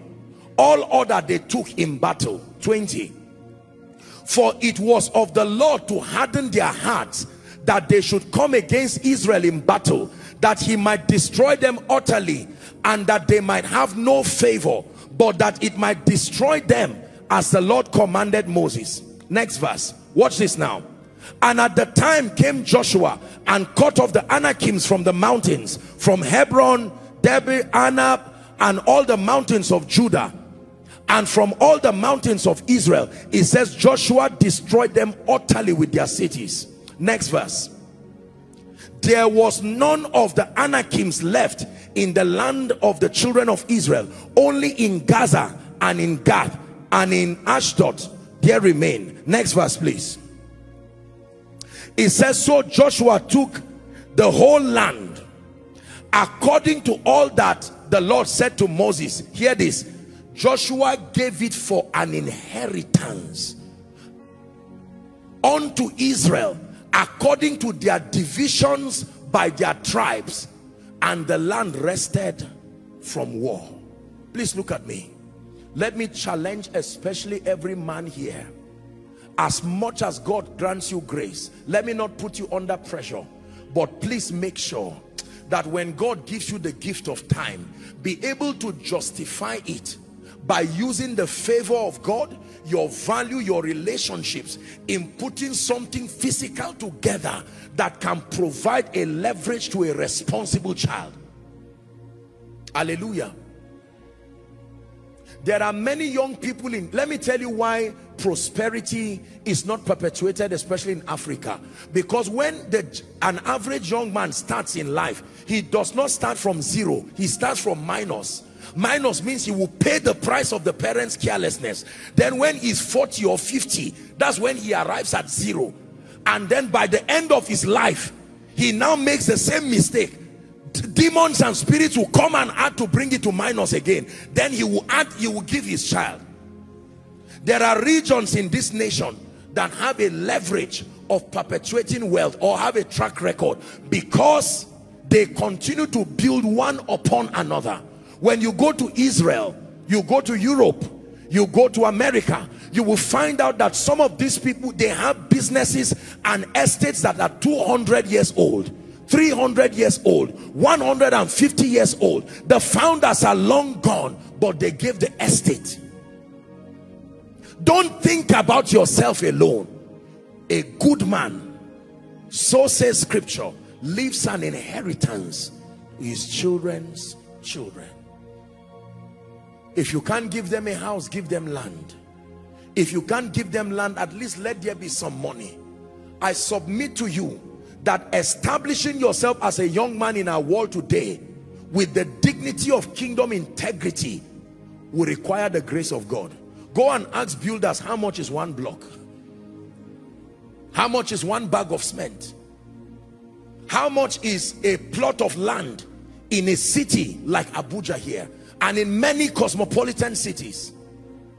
An average young man, respectfully speaking, who is receiving say a hundred thousand 150 with the dignity of kingdom integrity without corruption without anything and minus any other leverage it would take God for that gentleman to be established. Do you agree with me?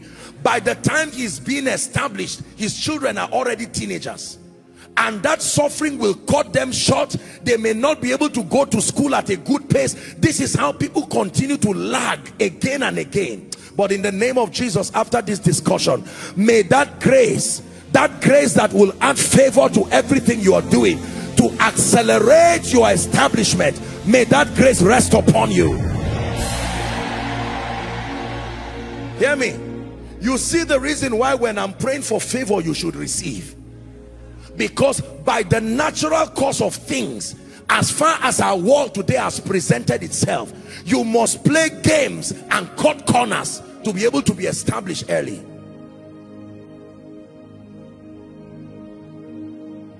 Physical assets. It is not unscriptural even if it will require a parent denying themselves certain levels of comfort to provide that leverage. May God bless I know that it is men's men's today is um, Father's Day and bless the men but may God bless both men and women who have paid the price to at least give their children something. There are people who never had the privilege of going to school but mama will say i even if it means me frying something by the roadside to give my children that leverage may god bless you for that sacrifice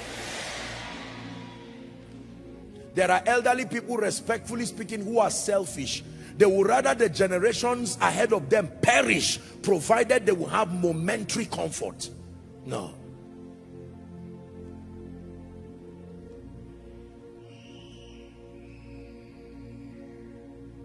Physical things can be a blessing. If God can help you and you can give your child a car or give your child a house or give your child some kind of physical assets to help and provide a leverage provided the first things are done convictions and the rest that now becomes a blessing. If the prodigal son was wise enough to collect other things alongside the physical blessings he would not have had to return back in shame. But he collected physical things alone.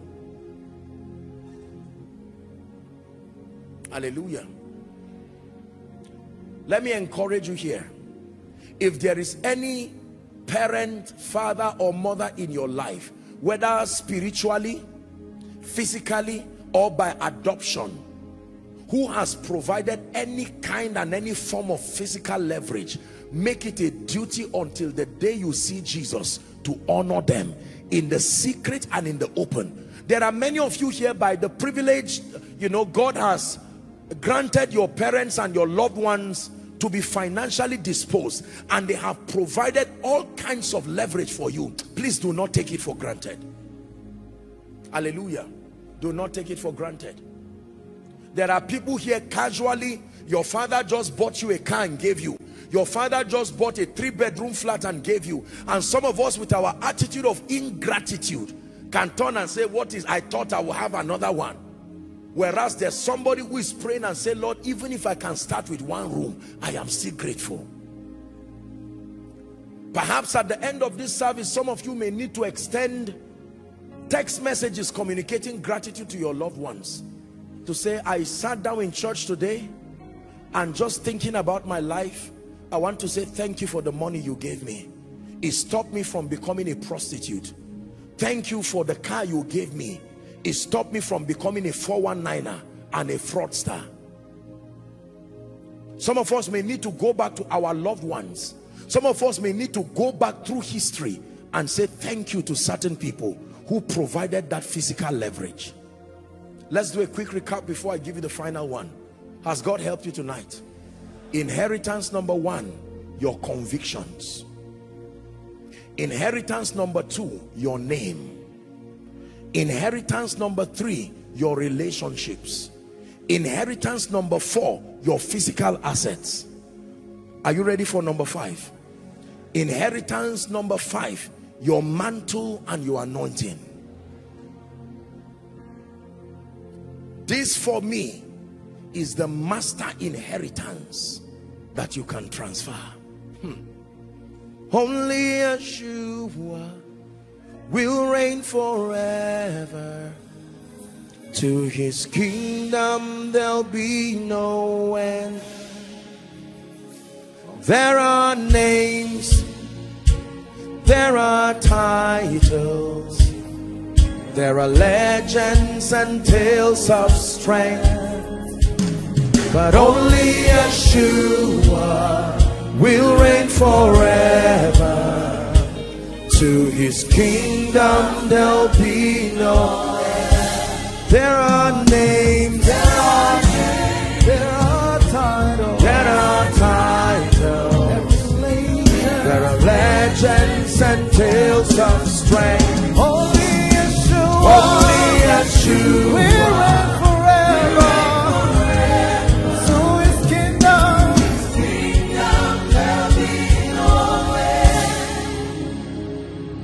me. Beyond anything physical that makes a man, there are spiritual qualities that men carry that distinguish them in life and destiny. Please, I want you to pay attention. Every man that is made, genuinely made, there is a spirit factor that is responsible for all that you see manifest. There is no man who is just made from the resources of this realm alone. As vast and as diverse as they are, if you last in relevance and you make any constructive impact in this life, part of the resources that must have made you you must have been outsourced from a realm that is higher than this dimension. Behold, I show you a mystery. Let me show you something that will surprise you. Genesis 25. no matter what you give anybody you seek to succeed you you have not truly blessed them if you if you do not transfer the mantle the spirit the unction and teach them the secrets of maintaining it you don't only transfer mantles and anointings you must teach them your secret with God that kept it. Please pay attention. We're about to pray now. Genesis 25 the entire text is from verse 1 to 11 but we may jump a few places for time's sake.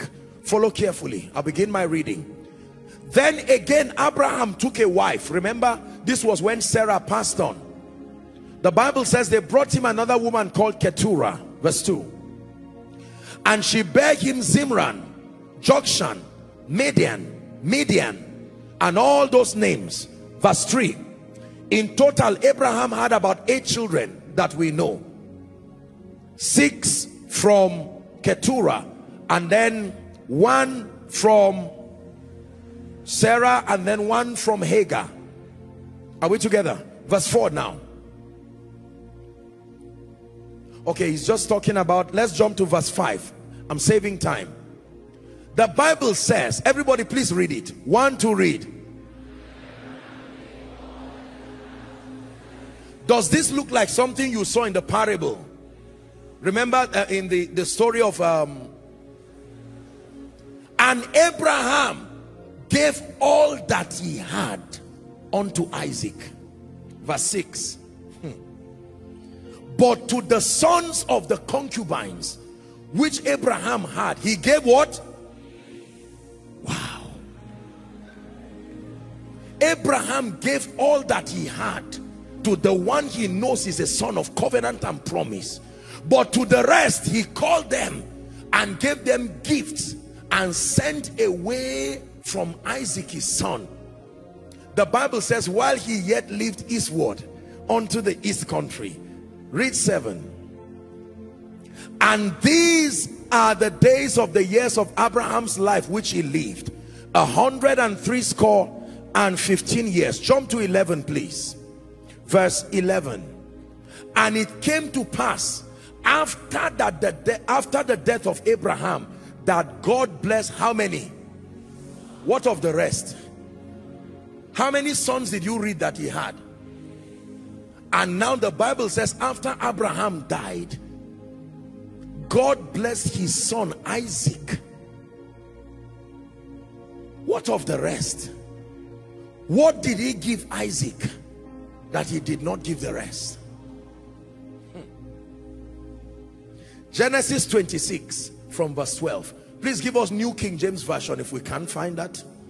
Genesis 26 and verse 12 there was something Abraham gave Isaac that the rest did not have the Bible says he gave them gifts but to Isaac he gave all that he had everyone please read with me we're reading from verse 12 and then I will continue. Ready? One to read. Then Isaac sowed in that land and reaped in that same year. And the Lord, he did not sow that same year because he was the only one who sowed. Many people sowed just like him. But what was on his head was now controlling what was around his life. Verse 13 be patient and read. One to read. And the man began to prosper and continued prospering until he became very what was on his head brought him what he had now in 14 go to 14 what did he have? Of flocks and possessions of herds and a great number of servants. So the philistines he gave his sons gifts but he gave this boy a mantle. He said this is all that made me me. Go with it. You may go empty but you cannot remain empty with this on your head verse 15 we're reading to 16 i'm saying this because this night something is going to come upon your life. In the name of jesus christ. Now the Philistines had stopped all the wells which his father's servants had dug in the days of Abraham his father and they had filled them with earth. Verse 16 it says Abimelech said to Isaac go away from us for you are much mightier. That means there is something you can receive. While you are receiving it your hand is still empty. Your bank account is still empty. But destiny begins to rejoice and say you got something. You got something more than money. You got something more than relationships. You got something more than a name I reserve this to be the last because there are few people who ever receive this. Hear me. Whether for men of God or business people or captains of industry this is the mystery behind the inability for sons to reproduce what is on their fathers. They are looking for physical things but they never cease to carry that one factor. Ah, i sense an anointing already manda lekatoshka da brandege baratos kosibedia. he gave isaac all that he had genesis 27 please Genesis 27, we're about to pray. Please be sensitive. Genesis 27, we'll begin our reading from verse 1. We'll read 1 to 7. Everybody please watch. Please, let me have your attention. Don't be distracted. If you are distracted with this story, it's an attack. Just listen carefully. And it came to pass that when Isaac was old and his eyes were dim so that he could not see he called Esau his eldest son and said unto him my son and he said behold here am I we're reading to seven he said behold now I am old I know not the day of my death. Next verse. Now therefore take I pray thee thy weapons thy quiver and thy bow and go out to the field and take me some venison. Next verse. And make me savory meat such as I love and bring it unto me that I may eat that my soul may bless thee before I die. Verse 5 and Rebekah heard when Isaac spake to Esau his son. And Esau went to the field to hunt for venison and bring and to bring it. Verse 6 and Rebekah spake unto Jacob her son saying behold I heard thy father speak to Esau thy brother saying bring me venison and make me savory meat that I may eat and bless you before the that bless you before the Lord before my death. Now jump for sake of time to verse 18 I want to show you a very deep mystery. The highest form of inheritance that can be transferred. And he came unto his father and said my father. And he said here am I. This is Jacob now. Who art thou my son? And Jacob lied to his father I am Esau thy firstborn. I have done according as thou badest me arise I pray thee sit and eat of my venison that thy soul may bless me next verse and Isaac said unto his son how is it that thou hast found it so quickly my son and he said, because the Lord thy God brought it to me. He's lying, no, as advised by his mother. And Isaac said unto Jacob, come near, I pray thee, that I may feel thee, my son, whether thou be my very son Esau or not. Reading to 29, 22. And Jacob went near unto Isaac his father, and he felt him and said, the voice is Jacob's voice, but the hands are the hands of Esau and he discerned him not because his hands were hairy and his brother Esau's hands so he blessed him 24 look at he said art thou my very son Esau and he said I am. Watch this now. And he said bring it near to me and I will eat of my son's venison that my soul may bless thee. And he brought it near to him and he did eat and he brought him wine and he and he drank. 26 and his father said unto him come near now and kiss me my son. 27 and he came near and kissed him and smelled the smell of his raiment and blessed him and said see the smell of my son is as the smell of a field which the Lord had blessed. 28 therefore God give thee of the dew of heaven and the fatness of the earth and plenty of corn and wine. Next verse. Let people serve thee and nations bow down to thee he said be lord over thy brethren and let thy mother's sons oh oh oh oh oh oh bow down to thee. Cursed be everyone that curseth thee and blessed be he that blessed thee. Verse 30 and it came to pass as soon as Isaac had made the end of blessing Jacob and Jacob was yet scarce gone out of the presence of Isaac his father that Esau his brother came from his hunting. Watch this. And he also had made savory meat and brought it unto his father and said unto his father let my father arise and eat of his son's venison that thy soul may bless me. Next verse. And Isaac his father said unto him who art thou and he said I am thy son thy firstborn Esau 33 and Isaac trembled very exceedingly and said who where is he that had taken venison and brought it to me and I have eaten of all before thou camest and I have blessed him and yea he shall be blessed. it's a law. I've released it already. Now watch this. 20, 34. When Esau heard the words of his father, the Bible says he cried with a great and exceeding bitter cry. And he said unto his father, bless me, even me also my father. Verse 35. And he said, thy brother came with subtlety and had taken away where is the blessing and how do you take it away because he did not carry any physical thing. Is it not just to speak? Couldn't he speak again? Ah there is more to the realm of the spirit than you see. How can a gentleman just cry? A matured adult crying and the father said sorry. So it's not about repeating words. There was something that had already come on Jacob.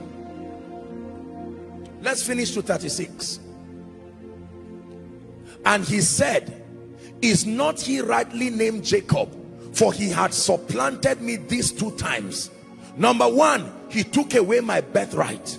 And behold, now he had taken away my blessing. And he said, Hast thou not reserved a blessing for me? Even one. Can I tell you this? Believe me when I tell you what is on your head is what controls what is around your life there are many people who whose hands are full but their heads are empty. And easily what is in your hands can evaporate. Real inheritance is not the physical things you carry. The conviction of the one before you. The name that he gives you. The relationships that he gives you the physical assets which is the least and then the greatest is the mantle and the grace that turned him. You will hear the stories of people especially in the body of Christ. You will hear a man of God tell you when God called me I could not even speak English. And today he has a ministry around the world. Brothers and sisters it takes more than hard work there are spiritual forces that may have come to partner with such a person. There are people who came to this Abuja. They did not have up to 100 naira. But their mama sent them from the village saying I don't have money but I once helped missionaries in 1971 and they said may my children be blessed. My son go with this blessing and that gentleman will carry a box looking like an armed robber. And as soon as he steps in Abuja the forces of the spirit start mobilizing themselves. Hear me. This is why some people do not fear. It is not what is on their hand. It is what is on their head. That yea I walk through the valley of the shadow of death I fear no evil.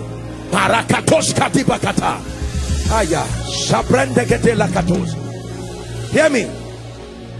When I tell you I am a product of many anointings this is what I mean I have secured the blessing the sworn blessing of many people.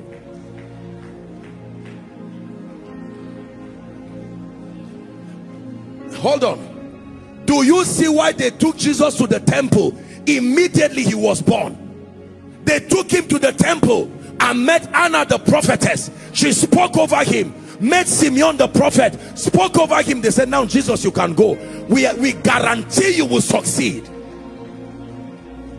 was our father in the Lord Bishop David Oyedepo who said he was somewhere in the US and the Lord cut short his meeting and said return back and make my people rich. He didn't give them any physical money but he came back with an anointing that he can declare and say be blessed. And you will hear that somebody did not apply for a job and yet they called him because thou anointest my head with oil but I see the results on my cup you don't anoint my cup you anoint my head but it's my cup that runs over. Listen believe me sometimes I wish I have the liberty to share testimonies but in many regards it will sound like arrogance. I remember years ago a man of God prayed a prayer for me. I met that man and I greeted him and I prayed an elderly man and he just said a prayer I I I, I, was it, it took a long time to say amen. Because he laid hands on me. And he said apostle he said may God create a problem that only you can solve. I said ah no why?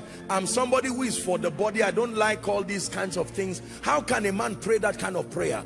You've heard my story that I was in just many years ago. And I went to go and buy sugar cane listen true story. And there were two old women who were trying to buy I think sugar cane. It was not more than 100 naira. I pleaded with them. I say you are my parents. I'm your child. Please give me the privilege of paying for you. They said no. I said let me pay. And when I paid they began to bless me. And one of the women blessed me in Hausa. She said my son forever walk upon gold men are not just made by circumstances. There are spiritual investments that men carry.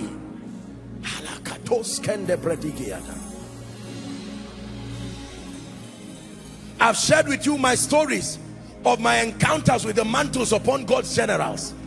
I don't just come and make empty noise. No. Now you understand what happened when Jesus appeared to me. I've shared with you my story when he appeared to me he never gave me anything physical but he stretched his hands and light from the king of kings and lord of lords. That light entered into me that surge of power and that surge of grace. Please help them.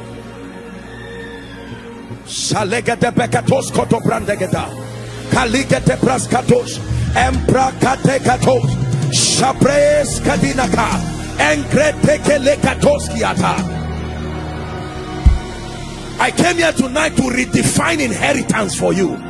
Inheritance is not cars and houses. No that is the least inheritance is not just estates.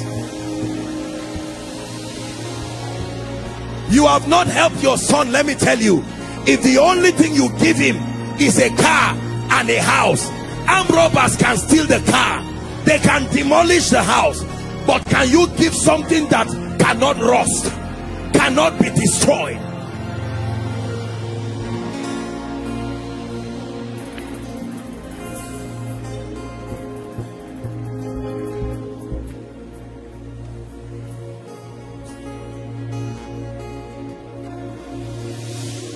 Hear me. He gave the remaining children gifts but he gave Isaac everything he had. And yet there was no Isaac carrying a truckload calling a truck. There are many young people who have been praying for their parents to die. Lord let them die so i can get the two bedroom flat. Don't insult your destiny. What was upon your father that made him to never beg? That's what you should look for. Not three bedroom flats. Not two bedroom flat. There are shamefully i say it with all due respect there are siblings and family members fighting for years and decades over mundane properties not knowing that if you receive what made the men themselves you can change the tides. There are people today who do not see eyeball to eyeball. This car is for me. This house is for me. That is the list of it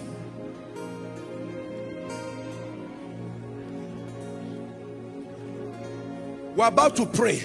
I came tonight full of the spirit. I want to release something from my spirit. Believe me help them. Honestly I came from the depth of my spirit that something will be placed upon your head that will so turn your life around.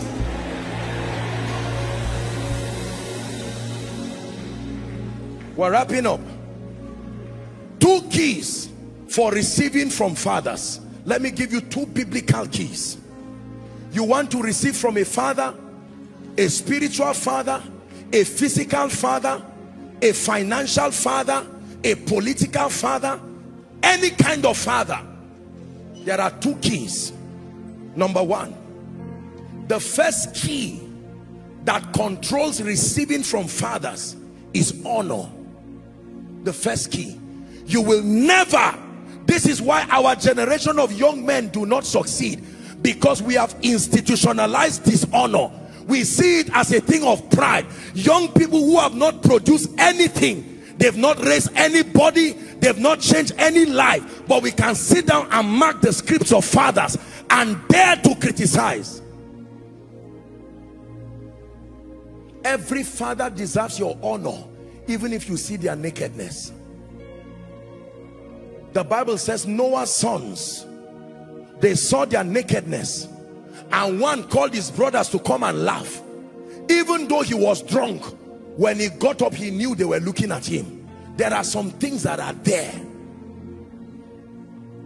And the other one moved backwards and covered him. And he got up and cursed some of the sons. Two keys. Number one honor.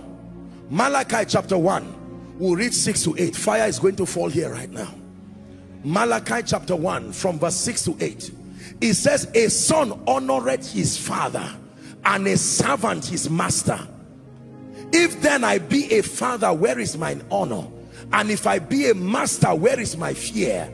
Saith the Lord God of hosts O priest that despise my name and ye say wherein have we despised your name? We're reading to 8 ye offer polluted bread upon my altar and ye say wherein have we polluted thee? In that ye say the table of the lord is contemptible. Verse 8 and if ye shall offer the blind for sacrifice is it not evil? And if ye offer the lame and the sick is it not evil? Offer it now to your governor. Will it be pleased with thee or accept thy person saith the lord of hosts. Can i tell you this do you know why Jacob, Isaac already had flocks, but he said, the one I want to eat is the one you go and get, not the one at the back of the house. Why would he have flocks and herds and now tell his son, carry your weapons of war. I want the one that came from your effort. Place value on it. Let me eat. Let your honor for me turn to joy because that blessing from my spirit is only released through joy. There are many children today who are carrying curses from their parents not demons because they've spent their lives causing pain to their parents. Sometimes we ship all kinds of things in the name of westernization and you see children insult their parents insult any kind of person. And I, am saying this respectfully speaking. Young people whether in this country or across Africa this is one of the mysteries behind the hard life of young people. We have no honor at all for parents. Not just physical parents. Anybody can get up and just insult anybody. No you will carry curses in successions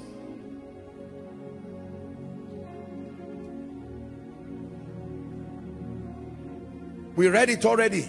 Genesis 27 when you read from verse 3 and 4 it say make me venison such that i love. Make me venison from your weapons of war. Honor is not just about giving money or giving seeds but let me tell you this.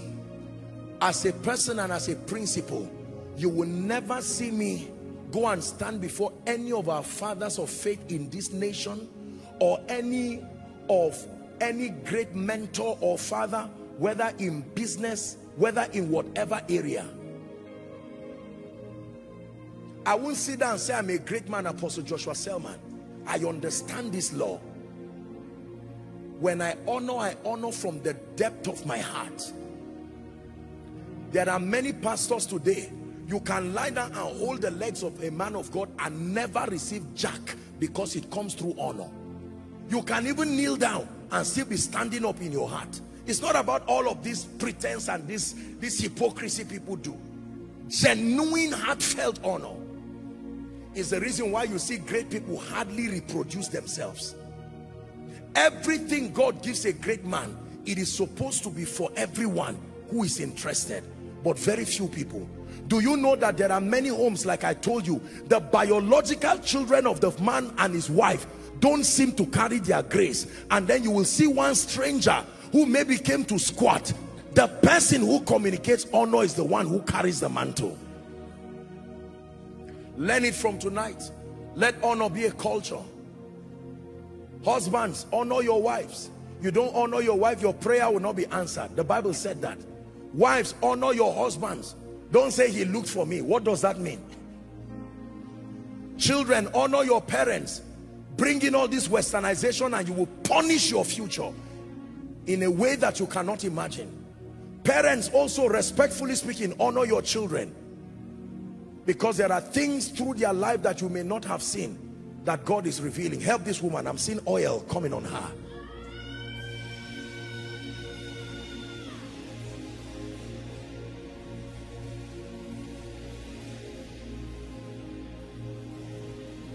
The first key for receiving from fathers. Fathers here does not just mean men alone. Those who have gone ahead is honor genuine honor. How many pastors today talk about their leaders their overseers their, they gossip about them tear them down and then come up yes sir. How are you sir? That's the reason why no impartation works because the honor is not genuine. How many business people how many people in corporations they sit down and tear their superiors insult them and talk all kinds of things and see them ah CEO sir God bless you. He can cut cake for you and you can eat but that is it. But there can be others who will say look I know this man is not perfect but I choose to honor him. Whatever granted him grace to come to Abuja here and in five years he has become this I stand with understanding and I know and one day he can look at you and say I bless you. Or he will say let me tell you a story. In 1971 my father died. In 1972 my mother died. In 1973 all my helpers died. So how did you become great? That is what is leading you to. And a two-hour conversation will become a six-hour conversation in that office. And at the end of it you will say I met one missionary who just said a prayer and I want to pray that prayer for you. Sometimes you see our father in the Lord Daddy G.O. he will ask everybody to stand up. See just because people don't tell you anointings are like addresses. You can know where they came from.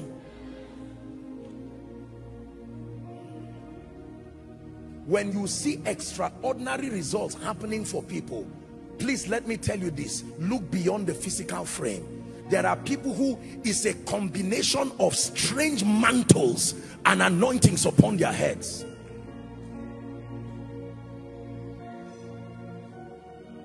Hallelujah. When Papa Idahosa was alive according to God's servant Bishop Oyedepo he would tell you that one time he came to him and delivered something and he gave him an opportunity to pick some money and he said no if I remember correctly he said no no no. What I want is that blessing. And he told him kneel down. He said from tonight I impart upon you the grace of on time that before any need arises the answer comes. And he received it.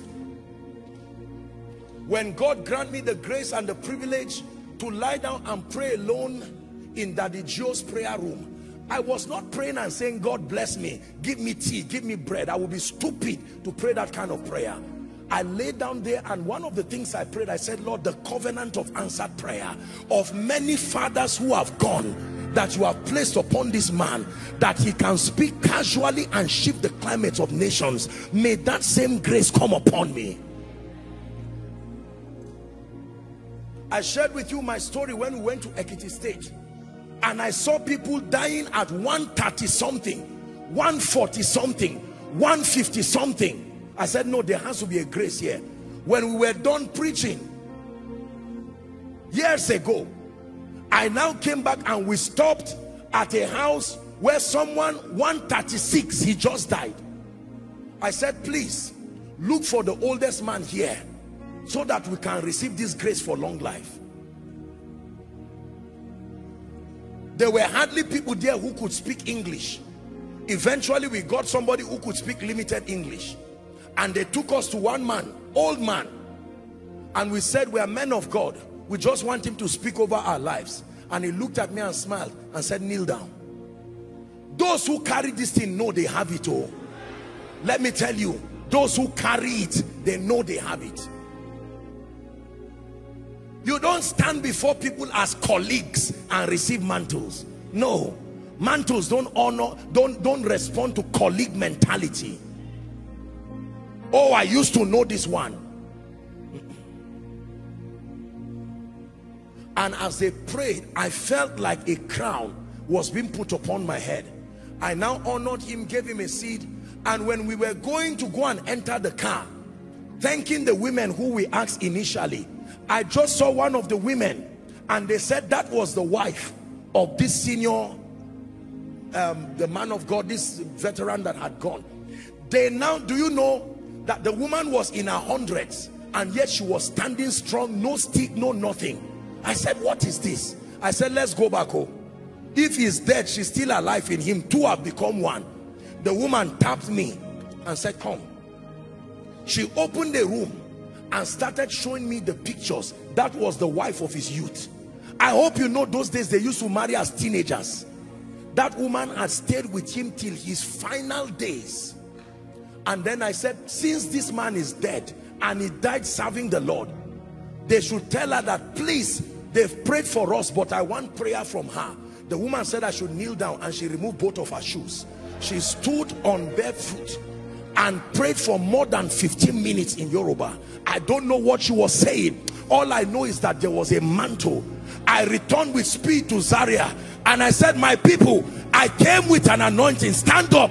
Let me release something upon you first.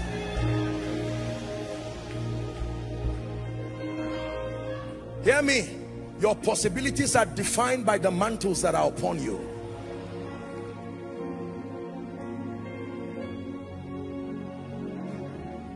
One day, a man of God prayed for me. And he said, son, because of this apostolic grace upon your life, I impart upon you. I never knew there was such a grace. He said, I impart upon you the kingmaker anointing. You've heard me say it. Kingmakers never become the kings themselves, but they can enthrone and dethrone kings.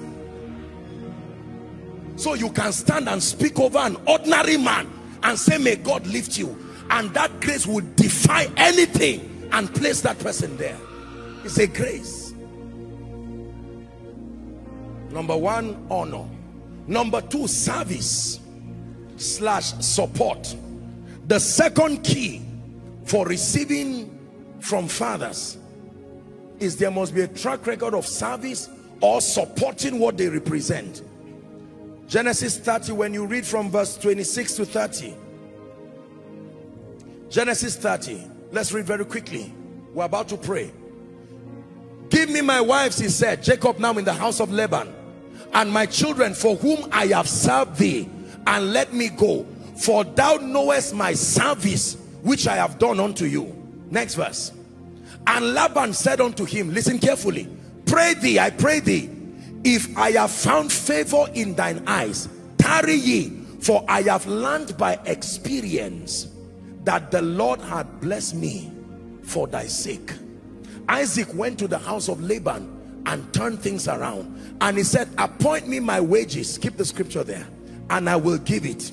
We're reading to 30 29 and he said unto him thou knowest how I have served thee and how thy cattle was with me. 30 hmm. for it was little which thou hast before I came and it is now increased unto a multitude. And the Lord had blessed thee since my coming and now when shall I provide for my own household also? Listen when you carry mantles upon your head there are people who will give you jobs not because of any physical effort like Laban. They would have studied that anywhere this man sits down have you noticed that this man came into this business? Have you noticed that this man got a job into this parastatal and things began to change it is not always about physical work. Read your bible. The spiritual climates that you carry can define possibilities in your life. So you can hear people come and give you testimonies here. They are not stage managing it. We fear god. How does someone just come and sit down? And then by a week later his life just changes. The same way your life too is about to change this night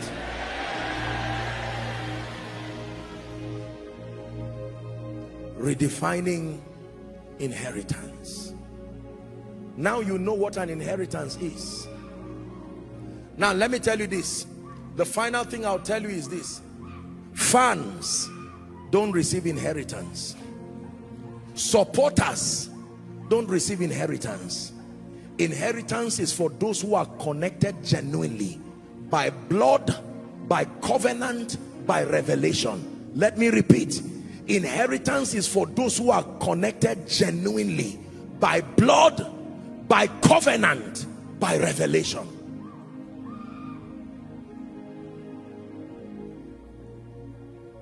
Only Yeshua will reign forever.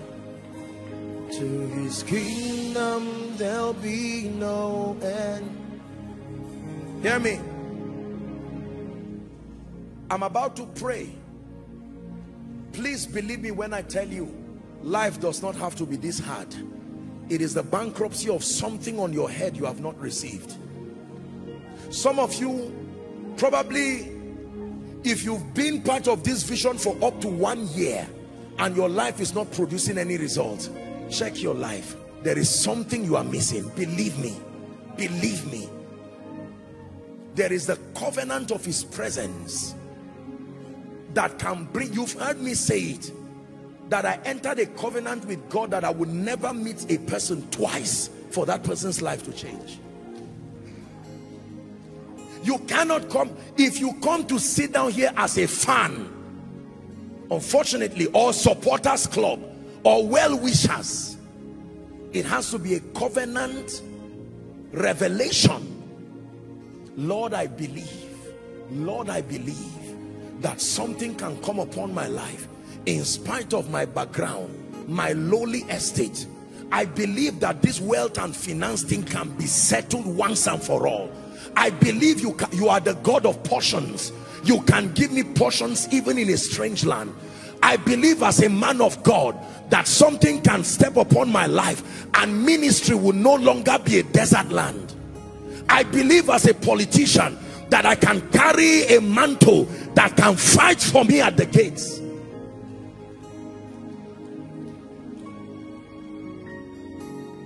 In the next two minutes, I'm going to allow you with the Lord. Every dimension that you need to step into, I will leave you in prayer for the next two minutes. Please, I want you to cry from the depth of your heart. For some of us, is poverty you need to end once and for all for God's sake. For some of us is weakness and limitation. Politicians this may be your chance to access superior grace that produces results. Businessmen here can be your chance to rise. There are young men and young women saying apostle physically speaking i don't have any advantage but the god of heaven can help you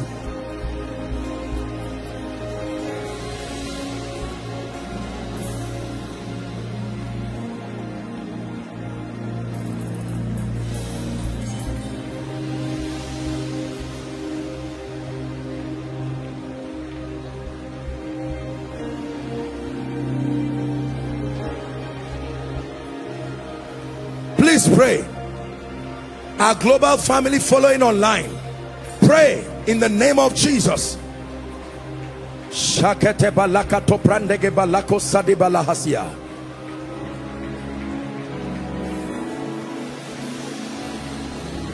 Mantles have been given to the church. Shabratege balakatos Mantles have been given setelas to the kadi balatusia Anointings have been given to the church. Mandates have been given to the church. For the kings to be born, the mantles to return. Shabagada balakato To arise in strength and power.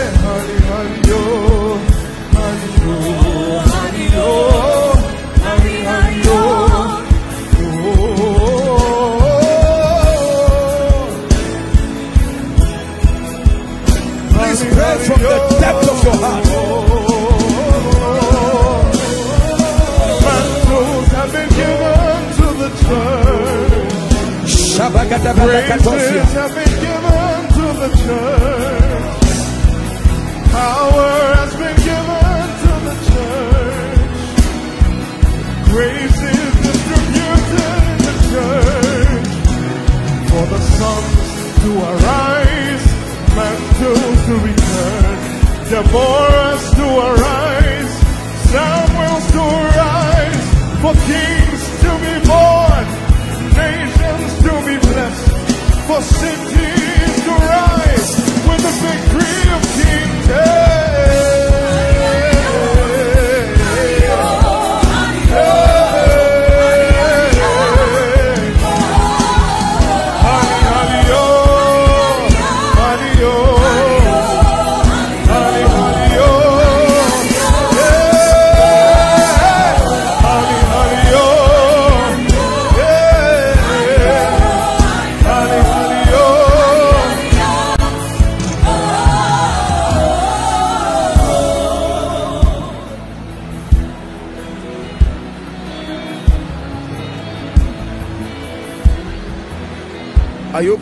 Now hear me please. Listen.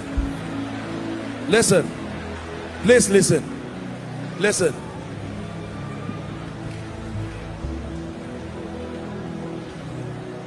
You've heard people come and stand here and everybody will tell you they listen to this message, this grace called favor. I told you my story how that Esther anointing and that favor came upon my life.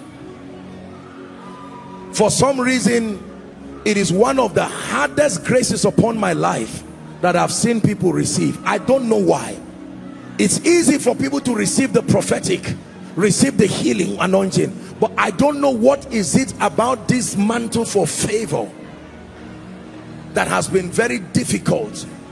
And yet I submit to you by God that if you do not access the genuine anointing, help them please, the grace for favor, there are many things you cannot do in your life. This world is a cruel and a wicked world. I would never be able to do what God is doing across the globe today outside of the favor of God. As I will tell you, there are many things I do not know. I'm a student myself. I learn and continue to learn. I learn from the Holy Spirit. I learn from scripture. I learn from our fathers. I learn from people with proven track record. But I can tell you one thing that I understand. I understand the dynamics of favor. Believe me when I tell you. I know what it takes to compel systems and structures to open for you.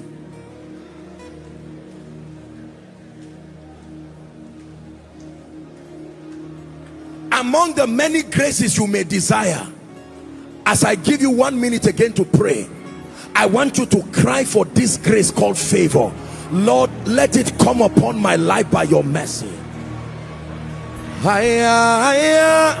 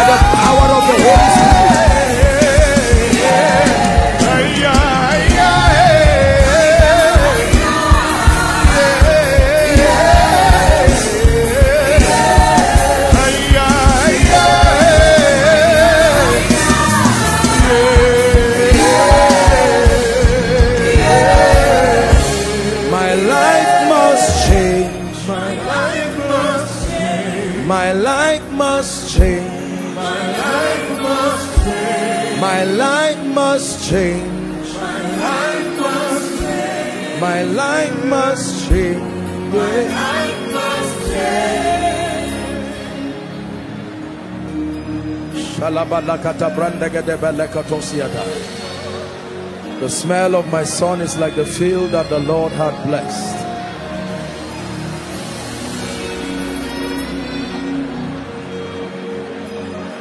One more minute, I'm about to speak over your life. Tonight will be one service that you will not forget in a hurry.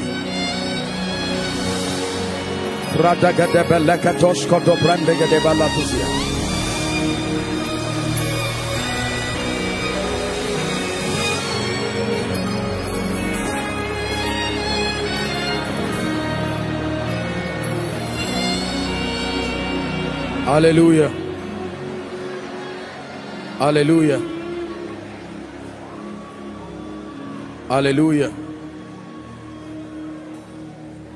There are people, what you need to receive is the conviction of every great man that you admire.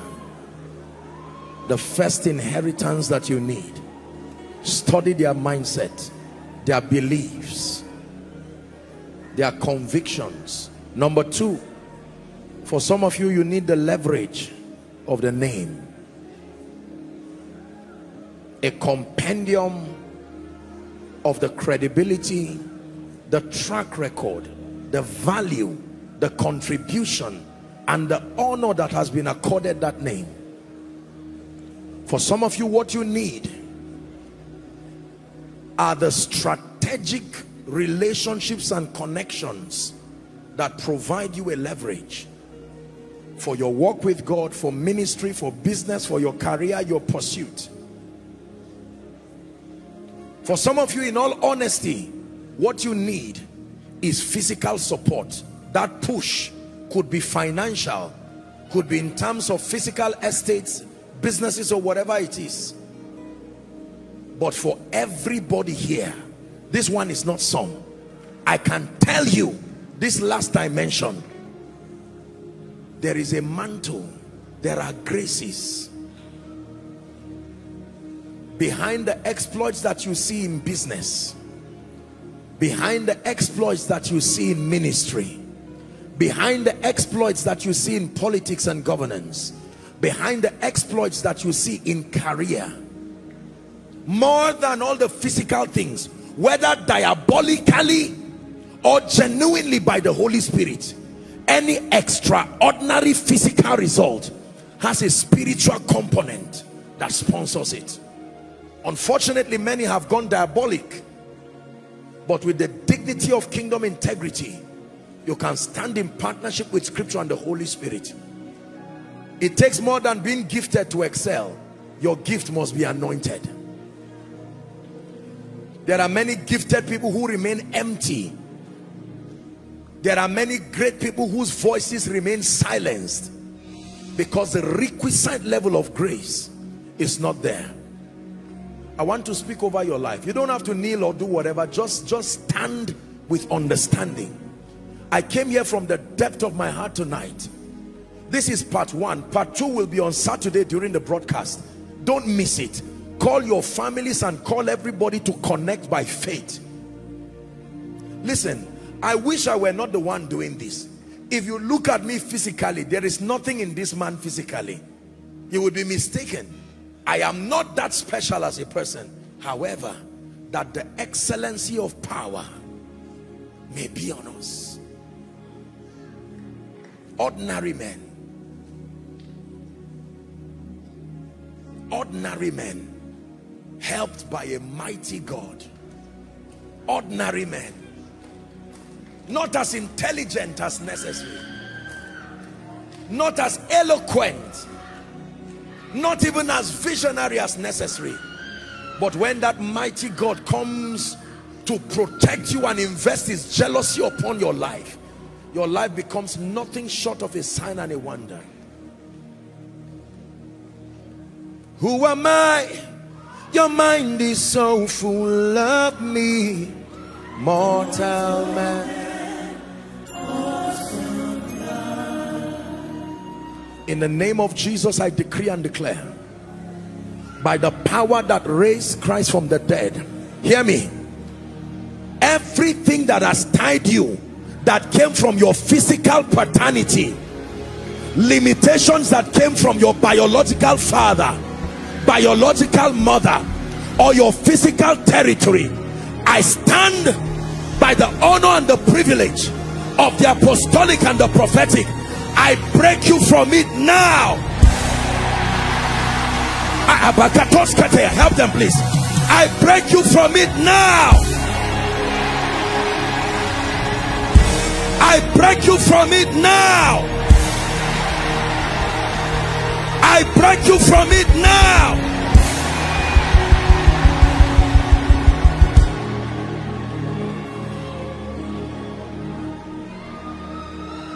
every spirit that makes easy things difficult you saw this with your father. You saw this with your mother. You saw this with your siblings. Sincerely you have not been able to break through. In the name of Jesus I come by the rod of a higher priesthood and I declare in the name of Jesus I push you to the next season of destiny.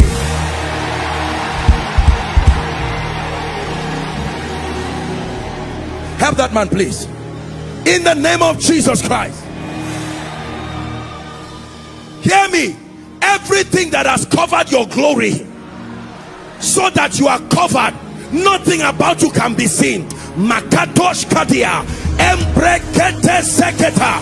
by the power that raised Christ from the dead I tear that veil right now.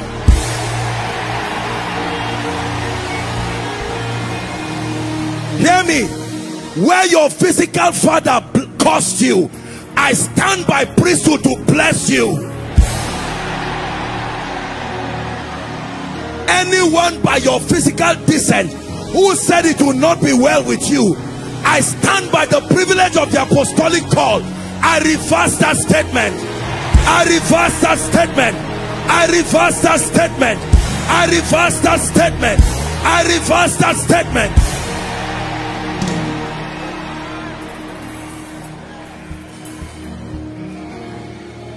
Anyone who said it will not be well with you. In the name of Jesus by the privilege of the apostolic and the prophetic I veto that statement and I cancel it.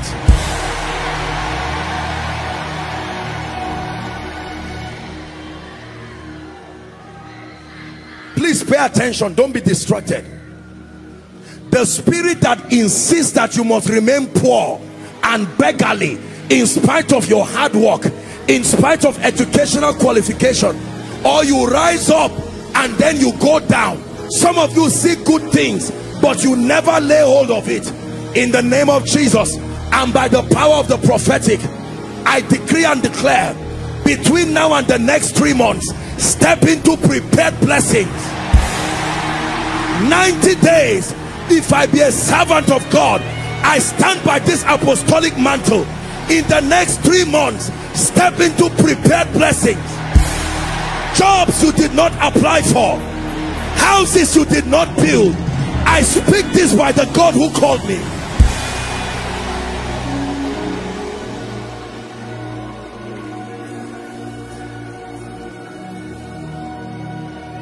Hear me. Every inherited battle they fought your father to his grave. They fought your mother to his grave. Now they will not give you peace. I help them please. In the name of Jesus.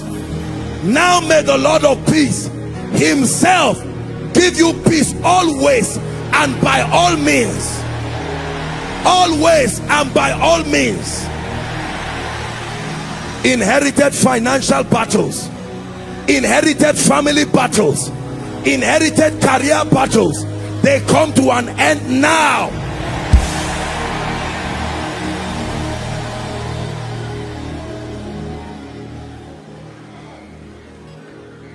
two more prayers and we're done.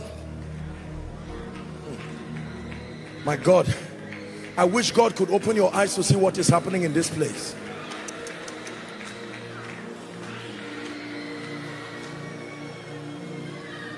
I'm hearing the month of August that there are people between now and August. Hear me between now and August I stand at help the helper please so she doesn't injure herself what could not be done throughout 2020 throughout 2021 and even till now in the name of Jesus I declare between now and August step into it step into it step apakatos step into it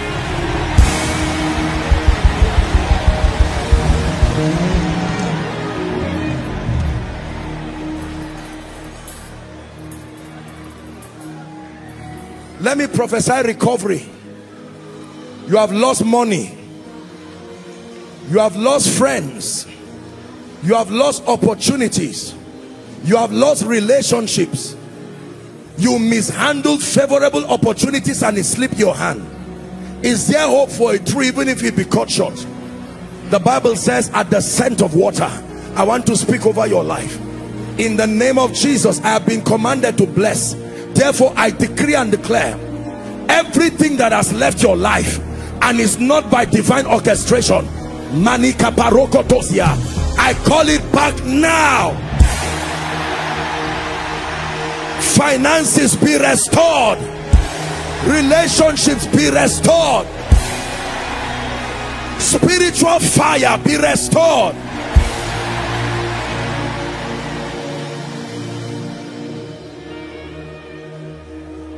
in the name of Jesus. In the name of Jesus. In the name of Jesus. Now hear me. Every parent here physical parent now who is struggling with your child in one area it looks like the devil wants to wage war over your family. And some of you have been depressed asking lord is this how i'm going to die no responsible child to rise up. Some of you even the child the devil is fighting to make sure you don't even have the child. In the name of jesus i'm speaking to our global family first and then to the body of christ. No one connected to this grace will have a cause to regret over their children.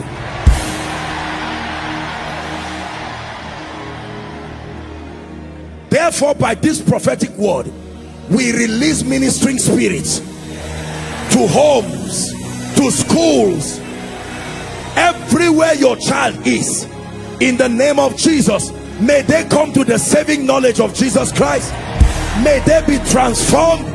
May they become responsible children. In the name of Jesus Christ please wave your hands to Jesus and give him all the praise amen.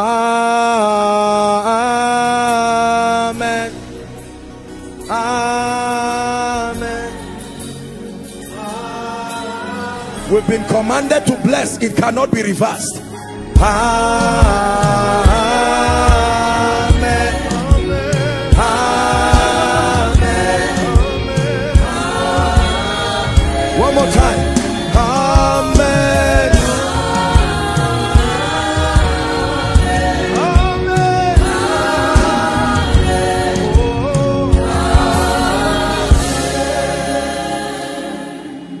let me encourage every parent if God can grant you grace I know it is not easy but if God can grant you grace use this week and speak over your children. Men you are the priest over your home.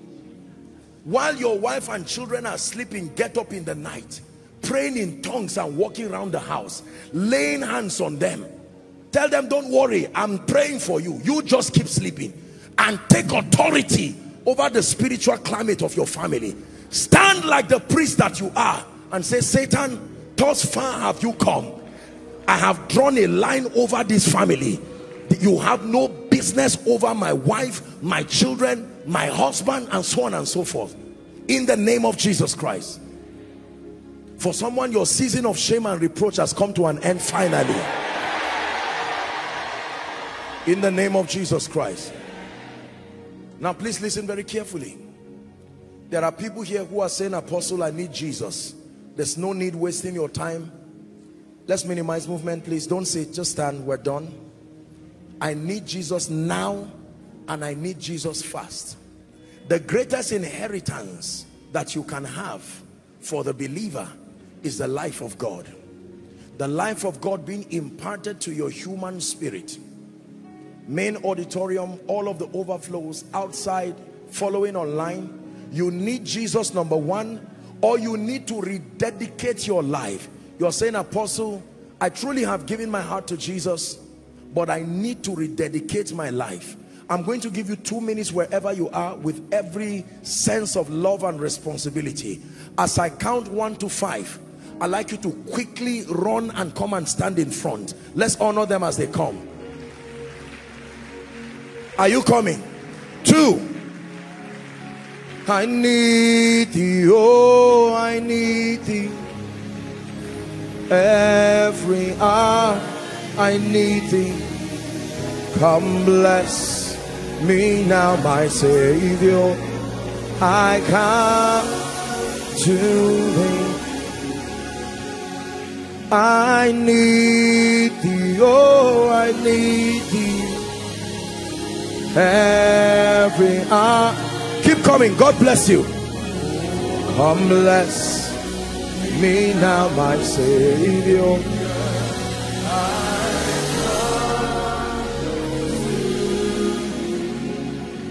Three, I'm about to pray. If you are coming, please join them. Unashamedly, do not be ashamed. Do not be afraid. This is home. This is family. Come. Apostle, I'm not sure if I'm saved or not.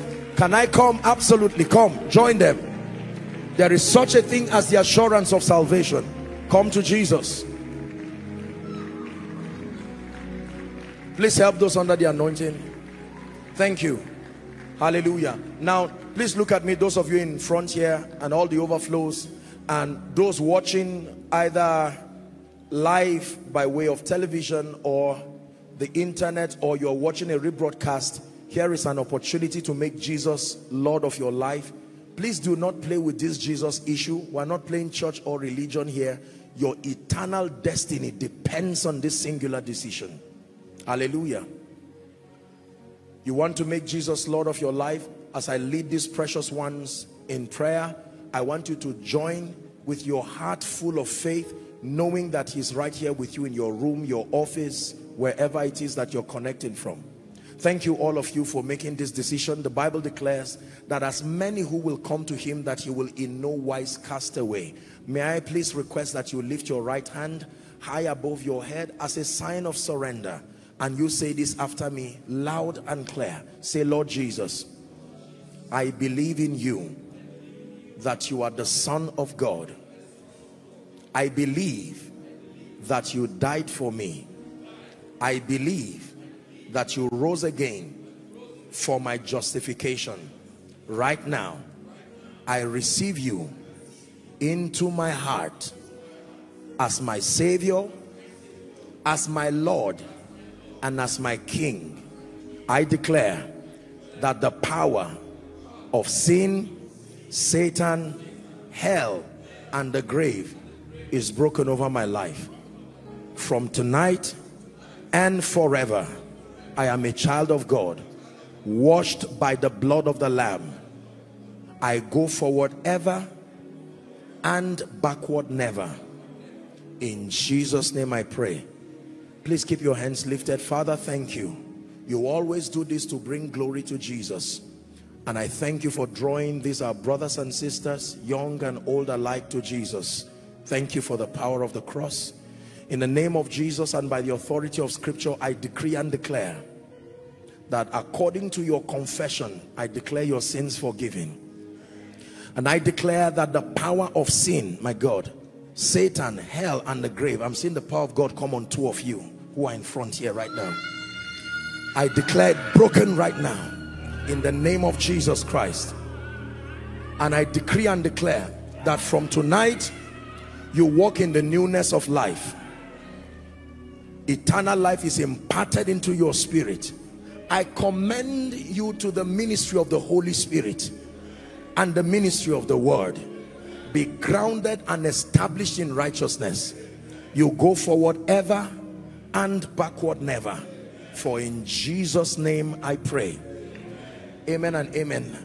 Now, may I request that you move to my right? There are counselors waving their hands. They'll have a word with you very quickly and then you'll be back to your seats. Let's honor them as they go. Koinonia, is this the best you can do?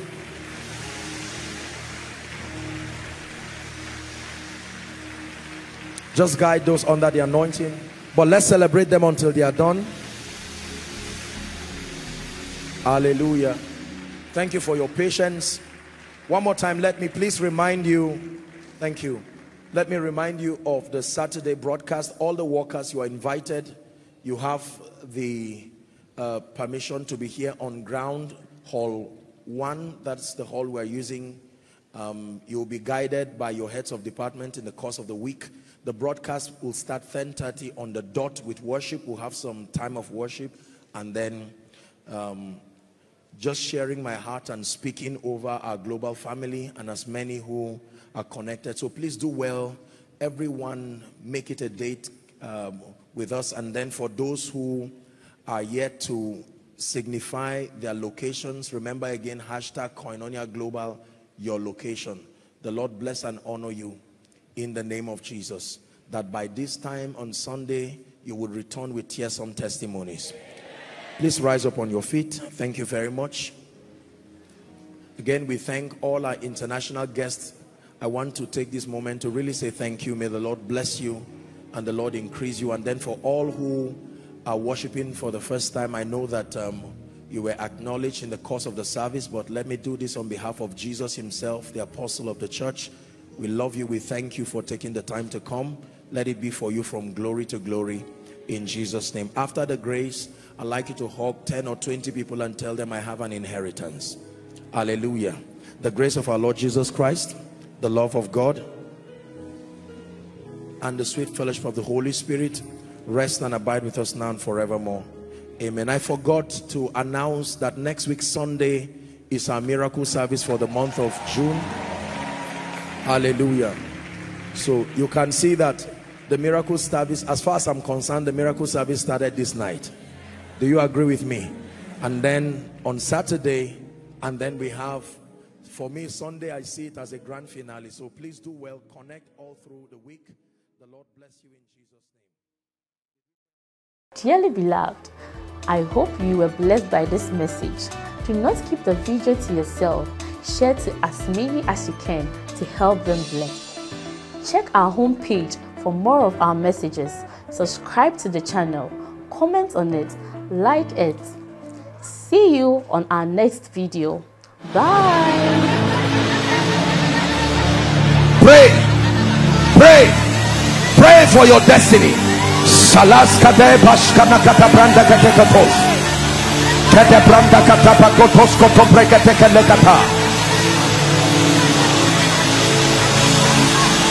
The phase of development. Lord, grant me the discipline